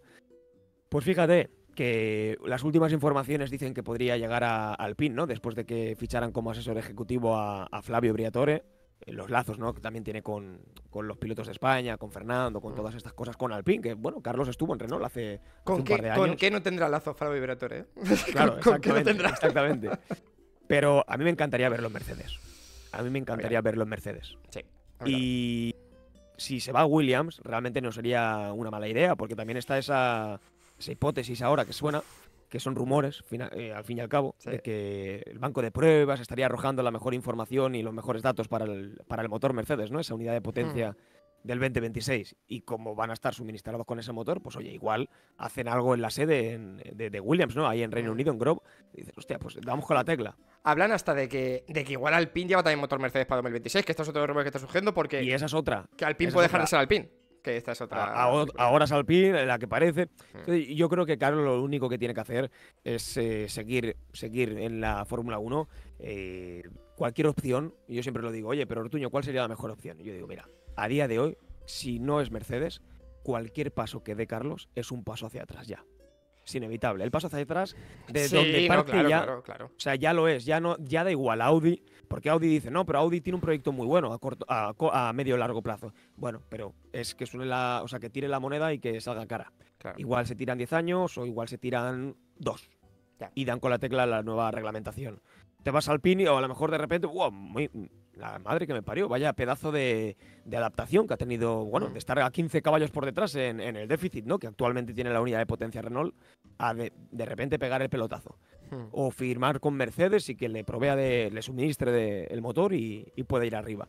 No se sabe. Lo único que tengo claro es que vaya donde vaya ya es un paso hacia atrás. Sí. Y, y estoy seguro que Carlos lo va a hacer genial donde vaya. Sí, está la situación, ¿no? Eh, Carlos, a principio de temporada, cuando se sabe en febrero que no va a seguir en Ferrari, pues todos esperábamos, ¿no? El. Quizá Mercedes, ¿no? Como hueco que se queda libre, tanto que se iba a Hamilton. Y la opción, si no, de Red Bull, también se llegó a comentar, ¿no? De, bueno, si Checo al final, que en ese momento, al principio de temporada, tenía solo contrato en ese 2024, pues a lo mejor había una posibilidad tal. A Checo le renuevan dos años, luego hablamos de Checo, ese siguiente piloto del que vamos a hablar, pero eh, dejamos eso para allá. Entonces, en principio, deja a Carlos con la posibilidad de Mercedes, como equipo ilusionante, como tú dices, ¿no? De, hostia, Mercedes es un primera espada, a todas luces, ¿no? Sí. Eh, una cosa, un- tener un motor de Mercedes está guapo, tener un Mercedes además alrededor del motor Mercedes está más guapo aún. Em, pero ellos parece ser que van a apostar por Antonelli, y yo me atrevería a darlo ya por oficial, por la por lo... Y arriesgado, ¿eh? Sí, Nos muy arriesgado. otro programa, pero arriesgado. Muy de- arriesgado, muy arriesgado, para mí De también. arriba pero bueno. abajo. Creo que yo lo he comentado en algún vídeo. Para mí, creo que aquí Toto Wolf lo que busca. O sea, creo que Toto Wolf es consciente de que es súper rápido subir a Antonelli. Pero Sí, sabe que para tapar la bomba de. me- La bomba mediática de perdido a Hamilton, porque al final ellos pierden a Lewis Hamilton, solo puede sustituir con una bomba mediática similar. No digo que Antonelli sea Lewis Hamilton, pero sí es verdad que la ilusión que puedes generar con un chaval de 17 años y la incógnita, esa mística la puedes generar. Te puede salir muy mal, pero la puedes generar. Y creo El que Carlos Sainz ejemplo no te, de llena, lo no te que- llena esa mística. El mejor ejemplo de lo que estás diciendo, Fons. Hmm. Lo que está pasando hoy, que nos vamos a otro deporte completamente distinto, el Hmm. fútbol, que está pasando con el chaval de 16 añitos de nuestra selección. La No, está saliendo bueno, mundo, pero- Hmm. Todo el mundo habla de él. Y, y- y, o sea, es que de verdad, creo que has dado con la tecla. Es Hmm. eh, tapar el huello, el- el- la, la huella mediática que ha dejado eh, Ferrari con el fichaje ¿no? de, de Lewis Hamilton. Hamilton. Lo que hablamos siempre, volvemos a lo mismo. También se gana en este deporte fuera Sí. de la pista. Sí, sí. Y, Que es que y de hasta- hecho se empieza ganando ahí fuera. que hasta mediáticamente dice, es para darle más vueltas, ¿no? Antonelli es el piloto italiano que le levantan a Ferrari en su momento. Buah, Eh, de- Es que es perfecto. eh, eh, es que tiene un poco de misterio. Yo creo que es lo que busca Toto Wolf. Y es plenamente consciente Toto Wolf de que lo va a pasar mal Antonelli en la primera mitad de temporada 2025. Por, por pura lógica, porque además va a competir con Russell, que es un animal. Que a mí me encanta yo Russell. O A sea, Russell me gusta mucho. lo va a tener muy complicado. Pero, eh, como tú decías, al final a Carlos parece que le queda Alpine, Sauber o Williams. Yo sí me pronuncio un poco de las tres. La que más me convence es Alpine, con la esperanza de que deje de ser Alpine. que, que es, que es algo que yo creo que para lo que se contrató, y aquí volvemos a lo que decía, pues no, elucubrar en torno a lo que se dice. Flavio Briatore no está para hacer crecer el proyecto Alpine. Flavio Briatore está contratado para Alpine para encontrar comprador para Alpine. Claro, para al encontrar fin y al alguien- cabo es un asesor. es- es- se va a encargar, de hecho, sus roles eh, más eh, a nivel marketing, a nivel marca, y sobre todo también el rol que va a tener él es captar jóvenes Claro. pilotos. Claro, eso, y yo creo que Es- también encontrar comprador, ¿eh? Creo que, por ejemplo, el caso de Andretti, que no le deja entrar a la Fórmula 1, igual es una de las piezas que va a intentar convencer a Andretti de comprar la estructura Alpine para convertirlo. O sea, creo que va a ir más por aquí que por vamos a hacer crecer la marca Alpine, porque creo que en hacer crecer la marca Alpine no está interesada ni el grupo Renault. que es el problema de base. Entonces, tampoco, tampoco hay mucho que no, no lo saben ni ellos. Primero te, dice, primero te dicen hace poco, ¿no? Decía, creo que fue el, el- creo que era el CEO del grupo Renault, eh, Luca de Eh, Meo. Luca de Meo. Decía, no, no, queremos, eh, tenemos pensado en el futuro, en un par de años hemos barajado la posibilidad de quedarnos como suministrador de, de unidad de potencia y vender nuestra plaza. Y luego te cambian, ¿no? El discurso. Nos quedaríamos, pero motor eh, cambiaremos de unidad de potencia. Claro que- no, no, no sabes por dónde, eh, por Que es dónde va a cerrar una fábrica o cerrar otra, vaya, porque tienen dos y yo Sí. creo que se quieres hacer de una y no sabes de cuál. Eh, o Enston o, o Virich ¿no? La de Francia, si no recuerdo mal. En fin, a ver qué, qué pasa ahí con Carlos Sainz con su, con su futuro. Eh, yo sí que creo que si fuera Carlos, yo lo cerraba ya, por si acaso. Porque. no vaya a ser- Uf, es verdad que yo creo que ahora está en un momento, y ya es del piloto que vamos a hablar ahora, ¿no? En el cual Checo Pérez parece más en la cuerda floja que nunca y a lo mejor sueña con la posibilidad de Red Bull, que sería una opción increíble para Carlos. Lo que pasa es que yo lo veo muy complicado. Hablemos de Checo. Aitor, tú tienes el problema de que eres muy español, ¿eh? Me lo han dicho, me lo han comentado. y eres, eres muy español. Yo también tengo ese defecto, pedimos perdón de primeras, pero ahora en serio. Eh, bueno, de hecho, coño, tu compañero Nelson es. De Venezuela. Ah, Venezuela. Vale, vale. vale. Pero vive aquí, vive aquí. Ah, Pero vale. también trabajamos con Skyline, con el chico que te, ah, que es mexicano, digo, dicho, que él es, sí, él es Claro. mexicano. Oye, pues tienen un muy buen equilibrio ahí. Vaya, tienes a los dos. Puedes enfadar a los Dos a la vez. A todos los Dos dos. españoles, un venezolano y un mexicano somos en el equipo de, de kilómetro cero. Deberían ser más Ahí, ahí mexicanos. hay un batiburrillo para darnos de hostias. Deberían ser, más me- deberían ser más mexicanos, si me preguntas a mí, ¿eh? Para, para igualar. a ver, ahora en serio, vamos a hablar de Checo. Em, Checo Pérez renovó hace dos meses, ¿vale? Eh, en un momento que nos sorprendió.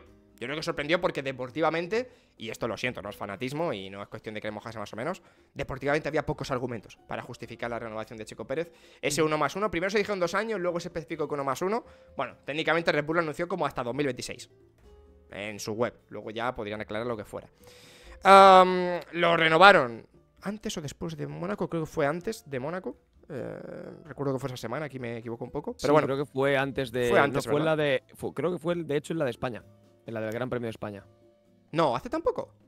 Creo que fue primera semana de. Creo que fue la primera semana de. Creo que fue la primera semana de No, no- junio. bueno, no tengo la fecha, da igual, dejémoslo en que renovó hace dos meses. No, no tengo Sí. el dato ahora mismo, no, estoy seguro. Pero, independientemente de eso, renovó dos años y, bueno, en principio cerró rumores, cayó bocas, ¿no? Lo típico de, bueno, pues la han renovado y ya está. Ahora bien, Checo, yo creo que se puede decir abiertamente, está haciendo la peor temporada que le recuerdo Fórmula 1. La peor. Por encima de Eh, McLaren 2013, ¿eh? Sí, sí, sí, sí. Sí, sí. Y no ha tenido ninguna gran temporada con Red Bull estos años, pero hasta ahora, bueno, eh, ya fuera por. eh, por el propio Red Bull, que era un muy buen coche, o por tal, se le suplían las carencias de lo lejos que estaba de Verstappen. Creo que nunca le pidió Red Bull a Checo Pérez ganar a Verstappen, pero sí que le pide, como es lógico, estar cerca. Y este año es en el que más lejos está, ya no de Verstappen, del resto de coches que se han pegado un salto hacia adelante y contra los que no puede competir. Entonces, ahora hablamos de su temporada y todo, pero yo creo que hay derecho a lo que decíamos antes. Sí, se nos ha anunciado que tiene un contrato de dos años más, pero en Fórmula 1 los contratos se pueden romper. Y, no- y no es por... Que-. Claro, y, y al propio Checo Pérez le ha pasado. Y además le ha pasado de forma injusta, como le pasó en Racing Point en 2020, eh, cuando fichan a Vettel, y él tenía contrato para 2021 y le echan. O sea que, que esto ha pasado, le ha pasado al propio Checo. Alguna vez no. Y en esa situación totalmente injusta, por cierto. Entonces, Aitor, ¿qué opinas de la temporada de Checo y cómo ves de posible el ultimátum del que se está hablando? Que a mí me parece totalmente creíble, porque, insisto, es que su actuación es insostenible, eh, para que igual ni acabe la temporada. Sí, se habla de esa posibilidad, ¿no? Eh, La, la temporada de Checo está claro. eh, La temporada está siendo muy mala. La temporada está siendo realmente mediocre para, para lo que es eh, el piloto mexicano. Yo siempre lo he dicho, para mí. eh, y claro, ahí venimos a lo que te comentaba antes, ¿no? De- del fanatismo de anti o muy pro. Para mí siempre, a mí me gustaba siempre Checo. Me ha gustado siempre Checo. A día de hoy me sigue gustando. Obvio, no me gustan las actuaciones que tienen porque pienso que no están a la altura de lo que él ha dado. Me parece un piloto completo, eh, un piloto que merece el respeto, que es el tercero con mayor bagaje de, la, de la actualidad, con mayores temporadas, solo por detrás de Alonso y de, y de Hamilton. Pero te tengo que decir, no está ahí tan solo para ser segundo de Red Bull, que está bien, pero ser segundo de Red Bull tienes que tener una capacidad de adaptación. Esa capacidad de adaptación conlleva a también estar en los puntos, eh, no caer en Q1, en Q2, y aquí viene el problema de lo que se habla. de la configuración, de que si hay sabotaje. No pienso que haya sabotaje. Yo no pienso que haya sabotaje y que haya un coche distinto que el otro. Los coches son iguales, bajo mi punto de vista. Hmm. Quizás estoy equivocado, ¿eh? Y de repente sale Checo algún día a hablar y dice, no, ¿por qué tal? Oye, también te digo que eh, también pensábamos que en 2007 pasaban cositas, ¿no? En, con Yo es McLaren que, y con Alonso. para Entonces, mí mi- yo mi dejo la punto- puerta medio abierta. Claro, para mí mi punto editor, y, y insisto, yo puedo comprar el sabotaje. Yo me puedo creer, cogiéndome un poquito el gorrito papel albal de los conspiranoicos, me puedo creer que a Red Bull no le interese que se eclipse a Verstappen. Yo me lo puedo creer. Me puedo Sí, creer que a Red Bull le eh, interese. Por ahí voy yo. Por ahí me, voy yo. me cuesta creer que a Red Bull le interese que Checo Pérez esté detrás de, detrás de los Mercedes, de los McLaren, de los Ferrari. de- o sea, me, me puedo creer que Red Bull pueda poner un poquito palos en las ruedas de Checo para eh, no eclipsar a Verstappen de ninguna manera. Me lo puedo creer y tengo que poner de mi parte. No me puedo creer que eh, le configure el coche para quedarse fuera en Q1.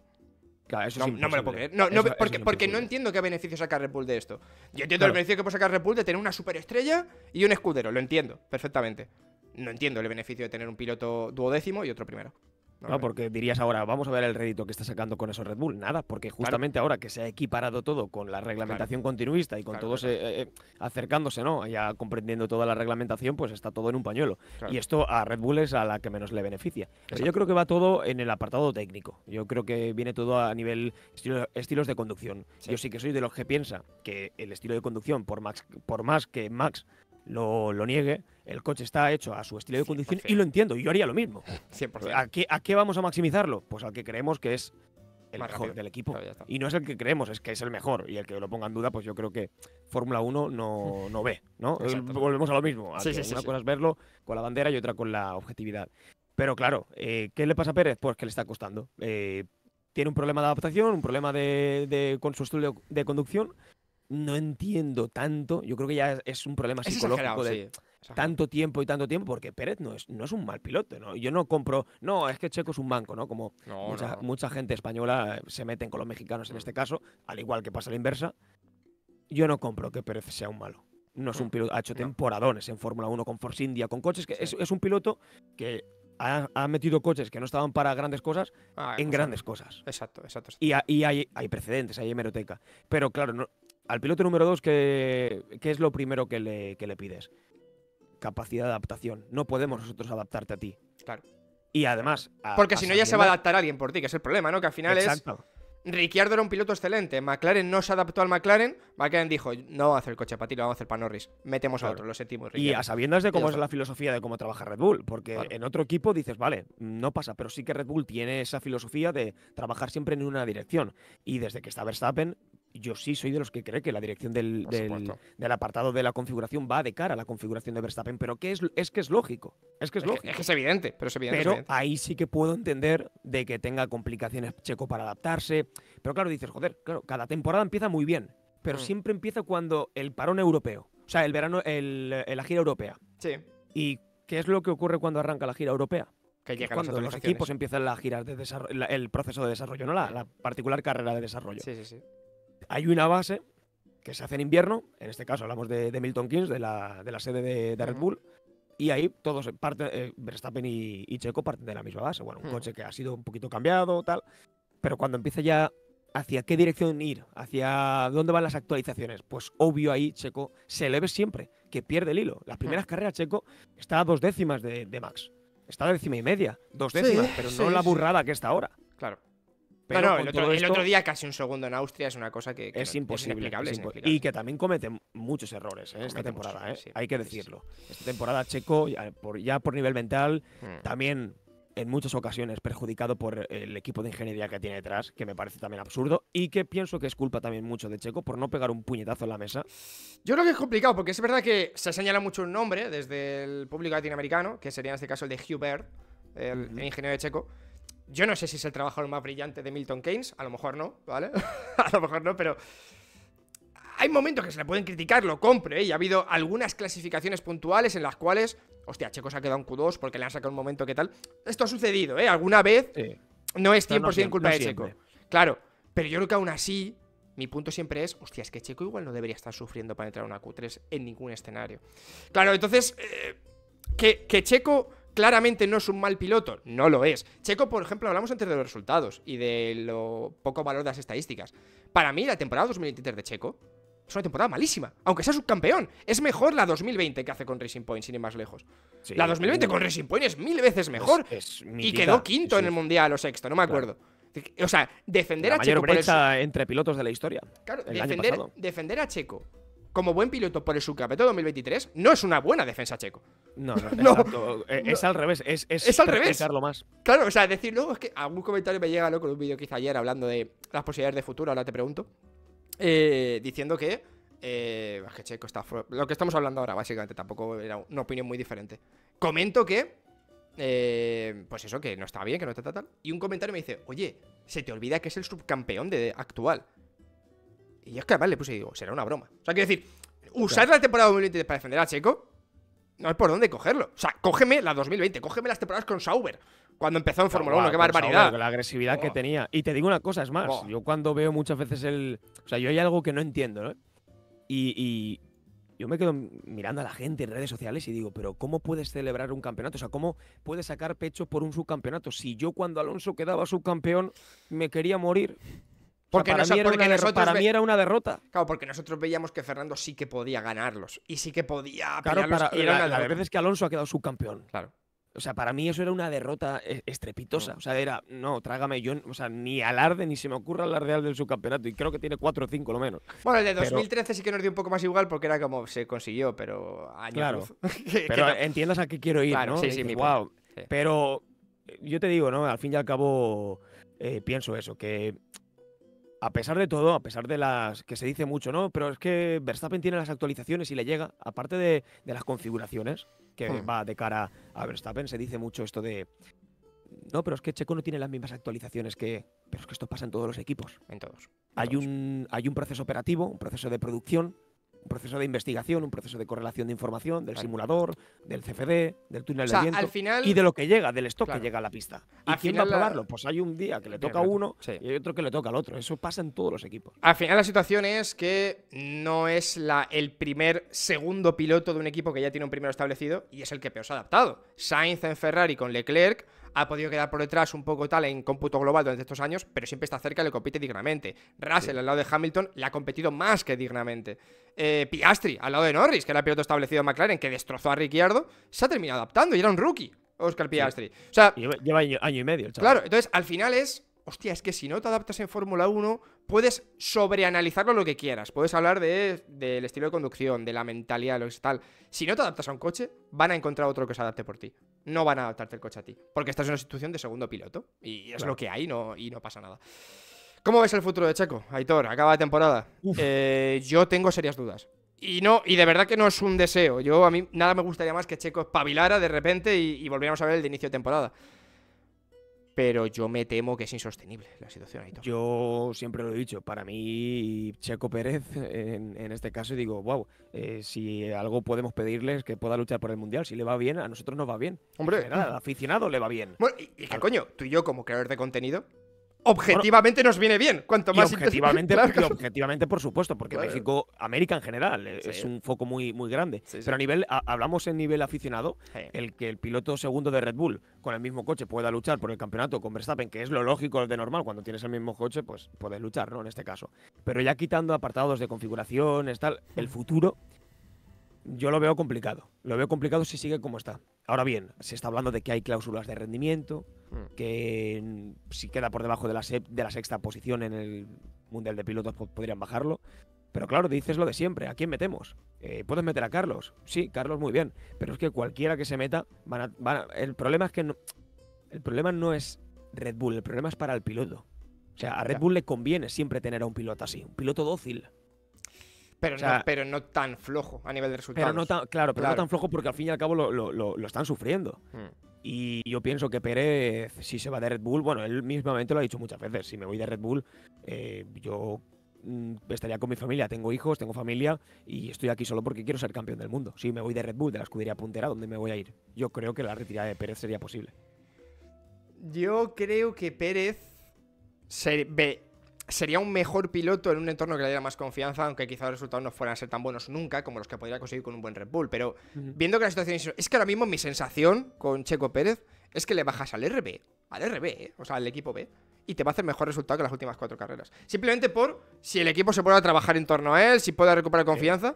Es que creo que. Es un, piloto así, eh, como lo describes. Checo es un piloto de, construcción. Claro. no, es un piloto de liderar proyecto, como en este caso los Verstappen, los, mm. un Fernando, los un Hamilton. E, es si, si construye a su alrededor y le da la confianza para él llevar la batuta, por así mm. decirlo, eh, te puede hacer un buen papel.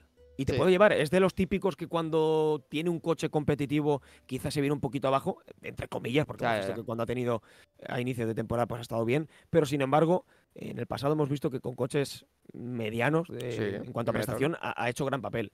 Mm. Pero es que dices, ¿a quién meto? ¿Meto a Ricciardo? Como se habla, se baraja la posibilidad de que metan a Ricciardo, pero encima Ricciardo, lo coherente sería. Ricciardo tiene una prensa espectacular. A mí Ricciardo me encantaba anteriormente, pero hoy día Ricciardo no merece estar en Fórmula 1. Ricciardo lo que tiene es nostalgia. tiene nostalgia, exactamente, tiene nostalgia. o sea, pero también te digo, yo Ricciardo, por ejemplo, aparte que tiene una prensa espectacular, que te lo compro 100%, pero también se la ha ganado porque el tío es súper simpático y el tío es muy bueno, ¿eh? las dos cosas, o sea, que no nos olvidemos de Ricciardo. Ricciardo yo creo que es una opción para subir a Red Bull en el momento en el que le suben al RB el año pasado a mitad de temporada. Porque era un piloto que estaba desahuciado en Fórmula 1. Claro, claro. Y claramente la única intención de Red Bull, de Christian Horner aquí, era a ver si este chico nos vale para el primer equipo. O sea, si le podemos resucitar. Entonces yo siempre me creo la posibilidad, aunque como tú dices, para mí ni se merecía esa segunda oportunidad de Fórmula 1 el, año pasado. Entonces, sí que creo, alguno vez lo he comentado, y no digo que me parezca lógico, ¿eh? pero olvidémonos de la lógica. Si Red Bull le quiso repescar solo para esto, igual viendo la situación actual de Checo, no pierden nada por gastar la bala de Ricciardo. Oye, al final le trajimos para intentar probar el Red Bull. Vamos a darle. es que no te, digo, ni que le den media temporada. Es que te digo que a lo mejor le dicen, tiene seis carreras, Daniel. Y si no, tenemos a Lawson. Que sería como el. luego viene por detrás Lawson. Claro, o sea. puede ser la posibilidad, ¿eh? No, no. O sea, puede ser una hipótesis de estas macabras, pero si echas el libro atrás. Hemos visto cosas más locas. Hemos visto a Gasly. Hemos visto a Kvyat, cómo se lo quitaban y se lo bajaban. A Alexander Albon le subieron con ocho carreras en Fórmula 1. O sea, Alexander Albon, Alexander Albon en 2020 estaba. que está súper gracioso, porque en 2019, perdón. Alexander Albon estaba en febrero en la Fórmula E. y, en, y en julio estaba en el Red Bull. O sea, pasó de, tono roso, de tal. O sea, la carrera de Albon, esos seis meses de Albon fueron para, para no querértelo. Y luego, y luego el post, ¿eh? hablando de Albon también, que luego se va al de ATM, si no recuerdo mal. Sí, bueno. Y luego eh. vuelve, luego por, por no sé qué fue. El, eh, sí, eh, volvió creo que a Williams. a Williams directamente, sí. Sí, claro, Albon corrió el DTM con un Ferrari pintado con los colores de Red Bull. Una cosa, una cosa la carrera de Albon. De, sí, es, es, una locura. Pero ya te digo que lo de Pérez. Eh, yo, yo, dejaría terminar la temporada. Yo sí que dejaría terminar la temporada. Eh, porque creo que sería. También sería el proceso de adaptación del piloto que viene por detrás. O sea, el piloto que, subiría. Yo creo que el, mal. El mal eh, es intentar ya tirar con, lo que se pueda. Maximizar todo lo que puedas con Verstappen. Porque Verstappen te puede tirar perfectamente con todo. No es lo suyo. Checo Pérez obviamente necesita ese, ese pequeño empujón. Pero claro, aquí dices, ¿qué hacemos? Intentamos equilibrar la balanza y también hacer el coche un poco también al estilo de conducción y así debilitando el manejo de Verstappen, que es el que mayor extracción de puntuación te está sacando. Claro, es un peligro. Se meten en una tesitura que, que, no, que lo van a perder. El Mundial de Constructores ya, ya está ante la de juicio. Es que ese es mi punto. Claro, el año, el año pasado Red Bull se pudo permitir un Checo Pérez flojo, porque al final el coche era tan superior al resto que con un coche flojo Checo te hacía un quinto o un sexto. Porque, o sea, con un rendimiento flojo, perdón, del piloto. Pero es que este año creo que Verstappen solo no te va a ganar constructores, ¿eh? Viendo cómo está McLaren, viendo cómo está Mercedes, ahora cómo está reflotando, Ferrari, veremos si puede volver a espabilar, es que no te lo gana. O sea, este año Verstappen no lo puede ganar solo. Ahora mismo lo está ganando casi solo, entre comillas, ¿no? Digamos, pero, pero no lo aguanta. Yo creo que no lo aguanta. Entonces. ya de pilotos lo ves, que está el de pilotos está ganado, podríamos decir prácticamente, pero, pero el de constructores. Y el de pilotos, y el de pilotos lo, lo, gana también muchas veces por demérito del resto. Sí. Él es un pilotazo espectacular, pero que no se malentienda, no, que no se malinterprete. Cuando digo demérito del resto es que cuando pueden aprovechar a aquellos que están intentando darle caza al líder, Va y gana en este Max, no, no lo hacen. la estadística. Claro, la estadística ahora mismo es, después de Silverstone, son 12, 12 carreras Seis victorias de Verstappen, seis victorias no de Verstappen, pero cada una de uno distinto. Claro, exacto. Entonces Leclerc, desde, Leclerc, desde, Mónaco ha bajado.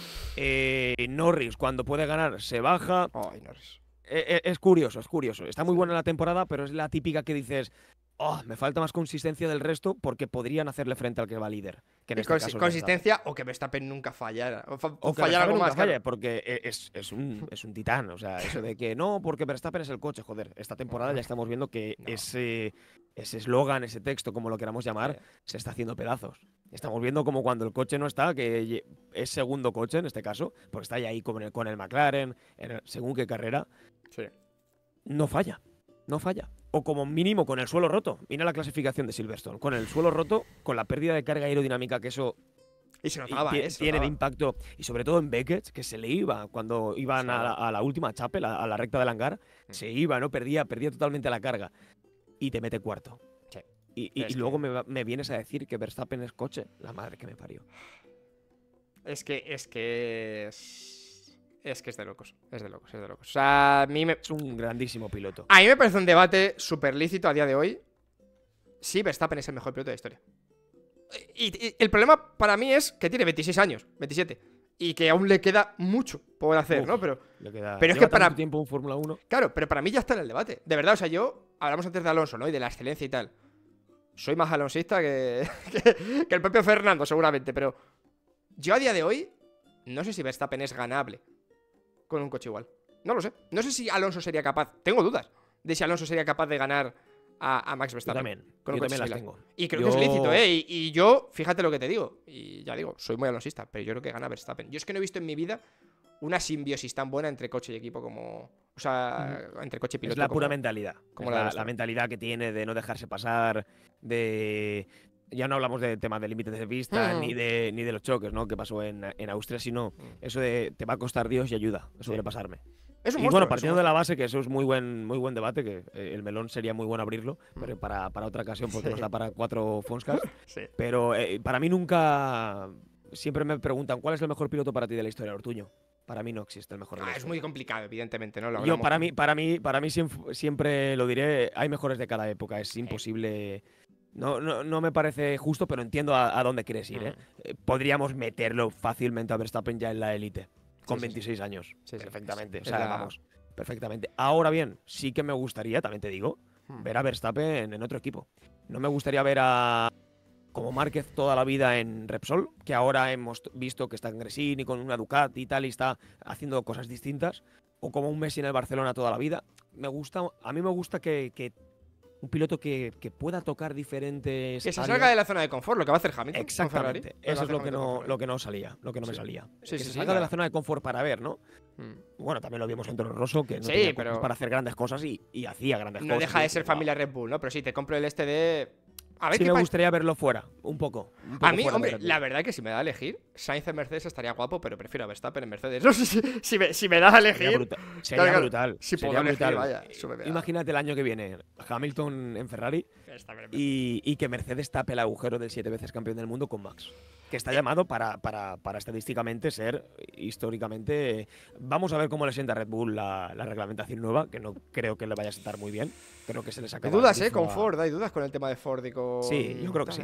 Y hay razón. sí. Es un cambio, es un cambio importante que, que a ver cómo. Y con la hidrodinámica activa, que Horner era uno de los principales que se quejaban también, que no querían, y por algo, por algo es. Bueno, mira, de esto ya, te- ya aprovecho porque era uno de los temas que tenía. eh, hablar un poco del reglamento 2026. Hemos hablado de los tres pilotos y tal españoles, pero vamos a hablar un poco del reglamento 2026. Ese gran cambio, esa gran esperanza para la Fórmula 1.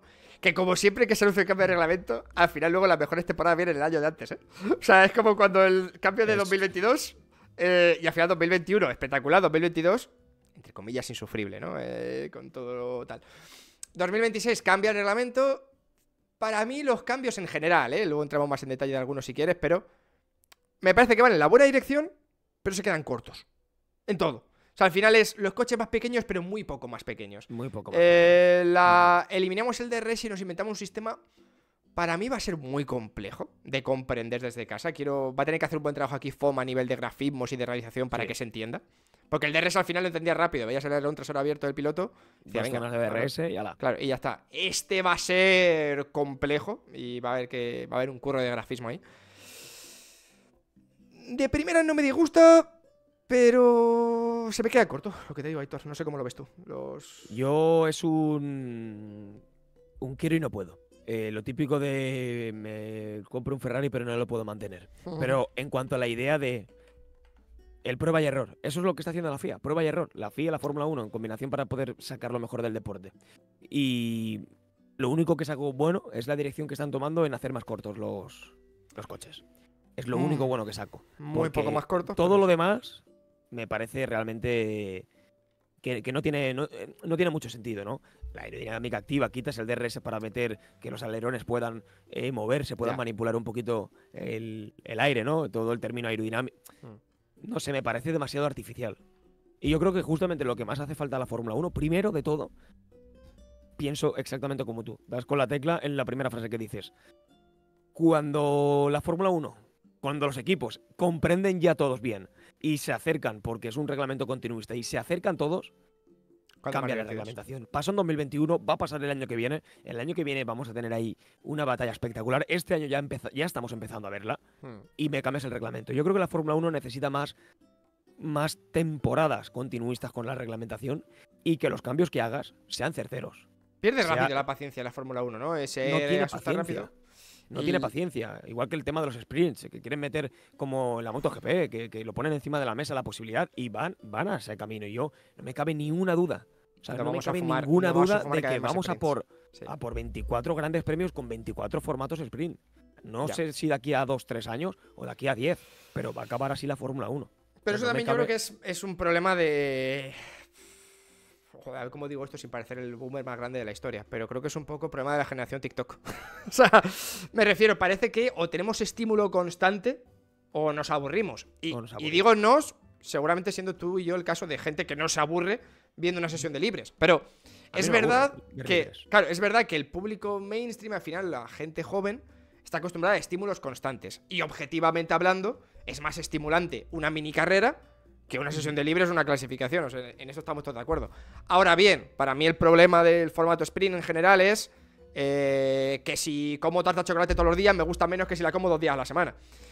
Eh, y ¿Qué al final. con, lo- con los circuitos urbanos? Cuando teníamos Mónaco, llegaba Claro. Marina Bay y decías, wow, increíble, nos íbamos Mm. a Singapur, la noche de Singapur, y era increíble. Ahora, ¿qué pasa con los urbanos? Mm, Eh, es que, fíjate cómo, cómo realmente estamos repitiendo la historia, mm. Con, con precedentes que no... No el problema de los urbanos también es lo poco carismático que son los que han metido, ¿no? Porque Claro, uno guapo no al final no- se acepta. no Pero... tienen carácter, no tienen esa sensación. Pero lo que te quiero decir es eso, dices, hostias, yo para mí como narrador, cuando a mí me preguntan, oye, Ortuño, ¿y a ti te gustan los, los formatos sprint? Para mí como narrador no tienen, no tienen sentido. Yo, no, cuando llega el fin de semana de Austria, por ejemplo, yo no tenía ganas ni siquiera de, de- de estar delante de la cámara. No, no, no tenía esa emoción como, por ejemplo, tuve con Silverstone, tuve en España, tuve en Canadá, Mm. tuve en Imola, porque dices, voy a narrar un- una práctica libre, que me parece perfecto, pero luego voy a narrar una shutout. Al día siguiente, la- el primer directo que tengo es narrar un sprint directamente y luego otra clasificación para luego otra carrera, la grande. Mm. Entonces, como que... Has dividido la emoción, se ha dividido en Sí. distintos tal y. Pero es- la has dividido y encima has empezado de pam, de golpe. Y, y para mí la esencia de la Fórmula 1, eh, quitando tema de motores, etcétera, el, el tema de, de lo que es la estructura de un fin de semana es perfecta. Lo único que haría sería reducir lo- la- las pruebas. A mí también. la práctica, la práctica número 3 me sobra. Sí. Esa práctica acuerdo. 3 me sobra, pero haz 90 minutos de prácticas Mm. y, la, y directamente la clasificación. Yo con las carreras sprint, y esto me gusta porque me parece un tema interesante, eh, tengo el problema de que es un concepto sin sentido. Y me explico. Al final, tú para una sprint interesante lo que tienes que hacer es repartir puntos. Pero si repartes muchos puntos en una sprint, le estás restando valor a la carrera del domingo, que es la verdaderamente importante. Entonces, siempre va a estar en un baremo en el cual, para que le importa a los pilotos aficionados, hay que dar muchos puntos, pero si damos muchos puntos, igual dejas siempre a la carrera del domingo, que es el plato fuerte. Entonces, se queda en una cosa ahí de que te quedar cuarto a quinto, un punto. O sea, eh, se queda un poco Sí. que tampoco nadie va a arriesgar en exceso y los pilotos también lo saben. Y si ahora, además, que para mí la han liado, porque el año pasado todavía, teniendo la clasificación antes, era como, venga, la carrera sprint y ya está. Pero ahora que tienen la clasificación para la carrera de verdad del domingo, cuatro horas después o tres horas después, arriesgan creo que menos aún. Y no hemos tenido malas carreras, ¿eh? Es una cosa no quita la otra, pero es un poco extraño. Para mí- la única este año. Para mí sí hay que, sí hay que innovar, Aitor, yo esto lo he dicho y entiendo que es complicado, ¿eh? Y voy a tirarme un triple. Pero si queremos usar el formato sprint para que tenga sentido, para que realmente sea un plato atractivo de ver, carreras sprint con los tercer, los tercer pilotos de cada, de cada equipo. Esa es, esa es muy buena, ¿eh? Una carrera Incluso pa- La compro antes que con parrillas invertidas. Claro, claro, claro, las parrillas invertidas es para categoría de formación. Yo eso no lo compro por ningún lado, lo siento. La la- Fórmula o 1 sea, es la élite. totalmente, totalmente de acuerdo. Estaría, estaría buenísimo. Sí. Que, fueron ella, que fueran ellos quien, quienes probasen. Carreras de 10 coches. Es que me da igual. Cada uno con un coche. Una carrera de 10 coches a, a 15 vueltas. Y ya está. Y que puntúen los 5 primeros. Y que esos chavales también tengan la opción de, de demostrar. Porque es verdad que la Fórmula 1 es más vieja que nunca. A nivel de que tenemos mucho piloto veterano, tal. Y con pilotos a largo plazo. Que a mí no me disgusta, ¿eh? Yo quiero ver pilotos buenos, no jóvenes. Pero entiendo que tiene que haber relevo generacional de vez en cuando. Claro. Hostia. Pues a lo mejor eso, eso yo sí que me lo veía con ganas. Y es algo diferente. No Y mismos de hecho, cuadra mucho con lo que Domenicali, bueno, se puso en la, encima de la mesa, ¿no? Cuando estuvieron con el consejo, eh, hablando, proponiendo, dijeron, estamos pensando la posibilidad de crear un campeonato alternativo. Un, ca- eh, un- un Sí. campeón, no sé si lo, lo escuchaste. Si No, esta, esta, esta no me la he noticia, leído yo, ¿eh? Esta no me la he leído yo. Pues que lo, lo que tenían pensado, o lo que tienen Sí. pensado de cara al futuro, está encima de la mesa, ¿eh? simplemente Mm. para- eh, se ha barajado. Crear un campeón del mundo alternativo, que sea campeón de sprint. Es decir, tendríamos el campeón del mundo de pilotos, el de constructores y el de sprints.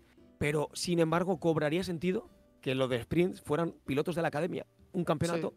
Ahí sí que sería, eh, ahí sí que sería para mí algo que cogería. Logísticamente es una locura, ¿eh? Con la actual planificación. Y sí, habría que ampliar presupuesto, límite tal. O sea, evidentemente. Bien. pero también te digo, si alguien puede cambiar las normas a mitad de año eh, y no pasa ni media, es Doña Federación Internacional de Automovilismo, ¿eh? Tampoco, tampoco hay aquí un problema rápido. Paramos el tiempo, como Michael Massey en Spa 2021, ¿eh? Que de repente se convirtió en. ¿Cómo se llama el de Marvel? El pibe que hacía así. El. No, no recuerdo, no recuerdo. Ay, ¿cómo se llama? El mago de Marvel, se me ha olvidado. Bueno, seguro que lo marcarán en comentarios. Eh, Doctor Extraño. ya está, me acordaba de cada.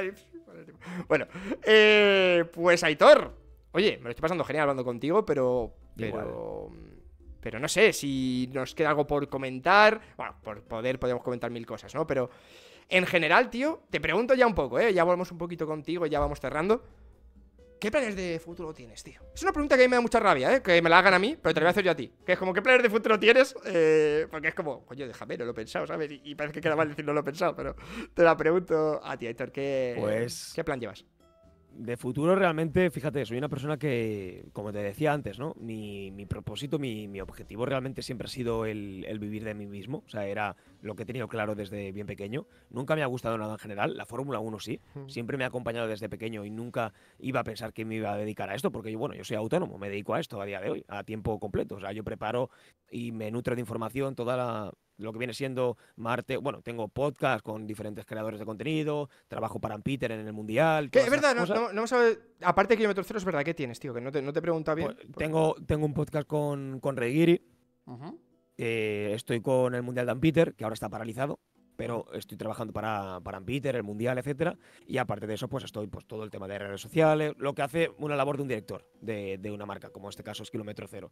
Eh, información, y editar y tal, y poner y atender a la gente, porque me gusta mucho estar en contacto con la gente, ¿no? Que la gente no se sienta un número, sino más bien, hostia, aquí pues me cuidan bien, ¿no? Hay que cuidar a la gente. Y mi plan para el futuro, pues ya te digo, siempre ha sido a nivel empresarial. Mi ilusión ha sido tener una empresa que ya sé como eh, pequeña empresa cataloga en el Estado español, pero eh, me gustaría hacer más cosas. Me gustaría hacer Fórmula 1, MotoGP, IndyCar, Fórmula 2, Fórmula 3, que Kilómetro Cero fuera una radio de Fórmula 1. o sea, es decir, a día de hoy nosotros siempre la, la llamamos la radio de la Fórmula 1, pero me gustaría que albergase un mayor equipo, algo más extenso, y que fuera algo más a nivel empresarial. Claro, eso me haría a mí salir detrás de cámaras, o sea, detrás de cámaras, detrás de micro, mejor dicho, para estar tras cámaras, dirigiendo todo porque no podría. Porque Ya, hay claro, claro. MotoGP con Fórmula 2, con Fórmula 3, con Fórmula 1 que muchas veces eh, chafan y no podría yo estar ni de broma. Ya. Pero claro, ahí tengo siempre la duda, todos los años me pasa, que quiero hacer más cosas, quiero pues coger a gente y tal, y eh, pues sí, nada, te voy a pagar a ti, te voy a pagar a ti, vamos a trabajar para kilómetro cero, te pago esto tal, y trabajas para la marca. Pero claro, dejaría de estar yo. Y a mí narrar me encanta, a mí presentar me encanta. Eh, mucha gente le gusta, ¿no? Yo al fin y al cabo soy la voz de- del canal, de, de- a la hora de hablar. Mi compañero es el que analiza, es como si él se va y dice, "Ah, pues, hay alguien que, que es el experto en, en- en un rol, ¿no? Que lo ha cuajado, que lo ha perfeccionado durante el tiempo. Entonces mi plan de futuro es ese, es eh, algún día atreverme, pero claro, ahí está la duda de si es un acierto o de si es un error. Mucha gente me lo, me lo ha desaconsejado. Me ha dicho, Ortuño, ni se te ocurra irte de narrar. Pero, quién sabe. Ese- si te puedo decir un plan de futuro es ese. Hmm. Y sí, hace que me- la marca. ¿Que me veo viviendo haciendo todo esto toda mi vida? Pues no lo sé. Creo que no. Hmm. Creo que no, sinceramente. Delante de, de la gente, siempre en contacto y todo, me gustaría una vida más tranquila, más sin estar delante del foco. Y que esto no lo he buscado yo. Salió solo. O sea, no- nunca yo Bueno, busqué a ver, si lo buscaste porque tú quieres ganarte la vida como autónomo, Sí, como has exacto. dicho, pero igual no. A ver, yo creo que tú estás en una situación, por lo que te voy conociendo hoy, porque tampoco hemos hablado mucho hasta el día de hoy, que siendo una persona que tampoco tiene necesidad de ego y tal, estás en un sitio perfecto, porque tienes mucha audiencia, pero a la vez tú tampoco eres un foco que te pueda afectar a tu vida personal, ¿no? Entonces, Claro. tienes esa suerte de, hostia, tengo un proyecto muy exitoso, porque al final tu proyecto es muy exitoso, y tú, sin embargo, en cualquier momento podrías incluso hacer lo que dices, de dar un paso al lado en el- para gestionar más cosas. Igual por otra persona, y aunque evidentemente la gente te echaría en falta porque estaría acostumbrado a ti y tal, a lo mejor no es tan cantoso como otros proyectos que existen que sin la persona que los lleva se caerían a plomo, ¿no? Entonces Sí. tienes esa ventaja ahí un poco, yo creo, respecto a, a otros creadores o a otra gente que. Sí, es lo bueno. Es, es lo bueno. Pero Ahí ya te digo que yo. En ese aspecto, yo lo, lo que quiero es lo mejor para la marca. que Al final es, eh, es el, mi pan de, de cada día. Claro, claro, claro. Y yo estoy feliz haciendo lo que hago. Pero de cara al futuro, pues eso. eh, mucha gente me ha dicho, ¿no? Y te gustaría la televisión y todo. Pero es lo que te digo. Es el sueño mío de que nadie me mande. De que nadie. Sí que he tenido contactos. Esto la gente no lo sabe. Sí que he tenido contactos con. Con televisiones y estas Sí. cosas. Pero no. No. No. no diré nada más. No. No. O sea, a día de, a día de hoy no. Eh, quizás en un futuro sí, pero a día de hoy no. A ver, yo creo que hay momentos en los que creo que a día de hoy se puede desmiti- desmitificar un poco la tele, ¿no? En el sentido de, igual hace 15 años, Aitor, imagínate que nosotros nos imaginamos con 10 años o con 12, decir, "Buah, si me ojalá me llamara la tele para narrar carrera, ¿no? Si teníamos esa inquietud, porque no había otra, no, Claro. no había otra opción.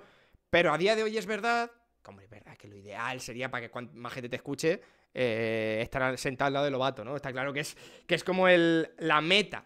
Pero es verdad que a día de hoy, si realmente te apetece eh, probarte como comentarista, como narrador, como tal, hostia, es que lo puedes hacer por nada de lado. dinero y tienes la facilidad. Quiero decir, no te quedes con las ganas de hacerlo, ¿no? Hoy tenemos más facilidad que nunca para lanzar cualquier tipo de proyecto audiovisual y tú puedes, tú haces, tú, vosotros emitís sin señal, evidentemente. O sea, emitís sin señal. Claro. Pincháis Sí, sí, un live timing de, de posiciones un poco, ¿no? Por lo que he visto.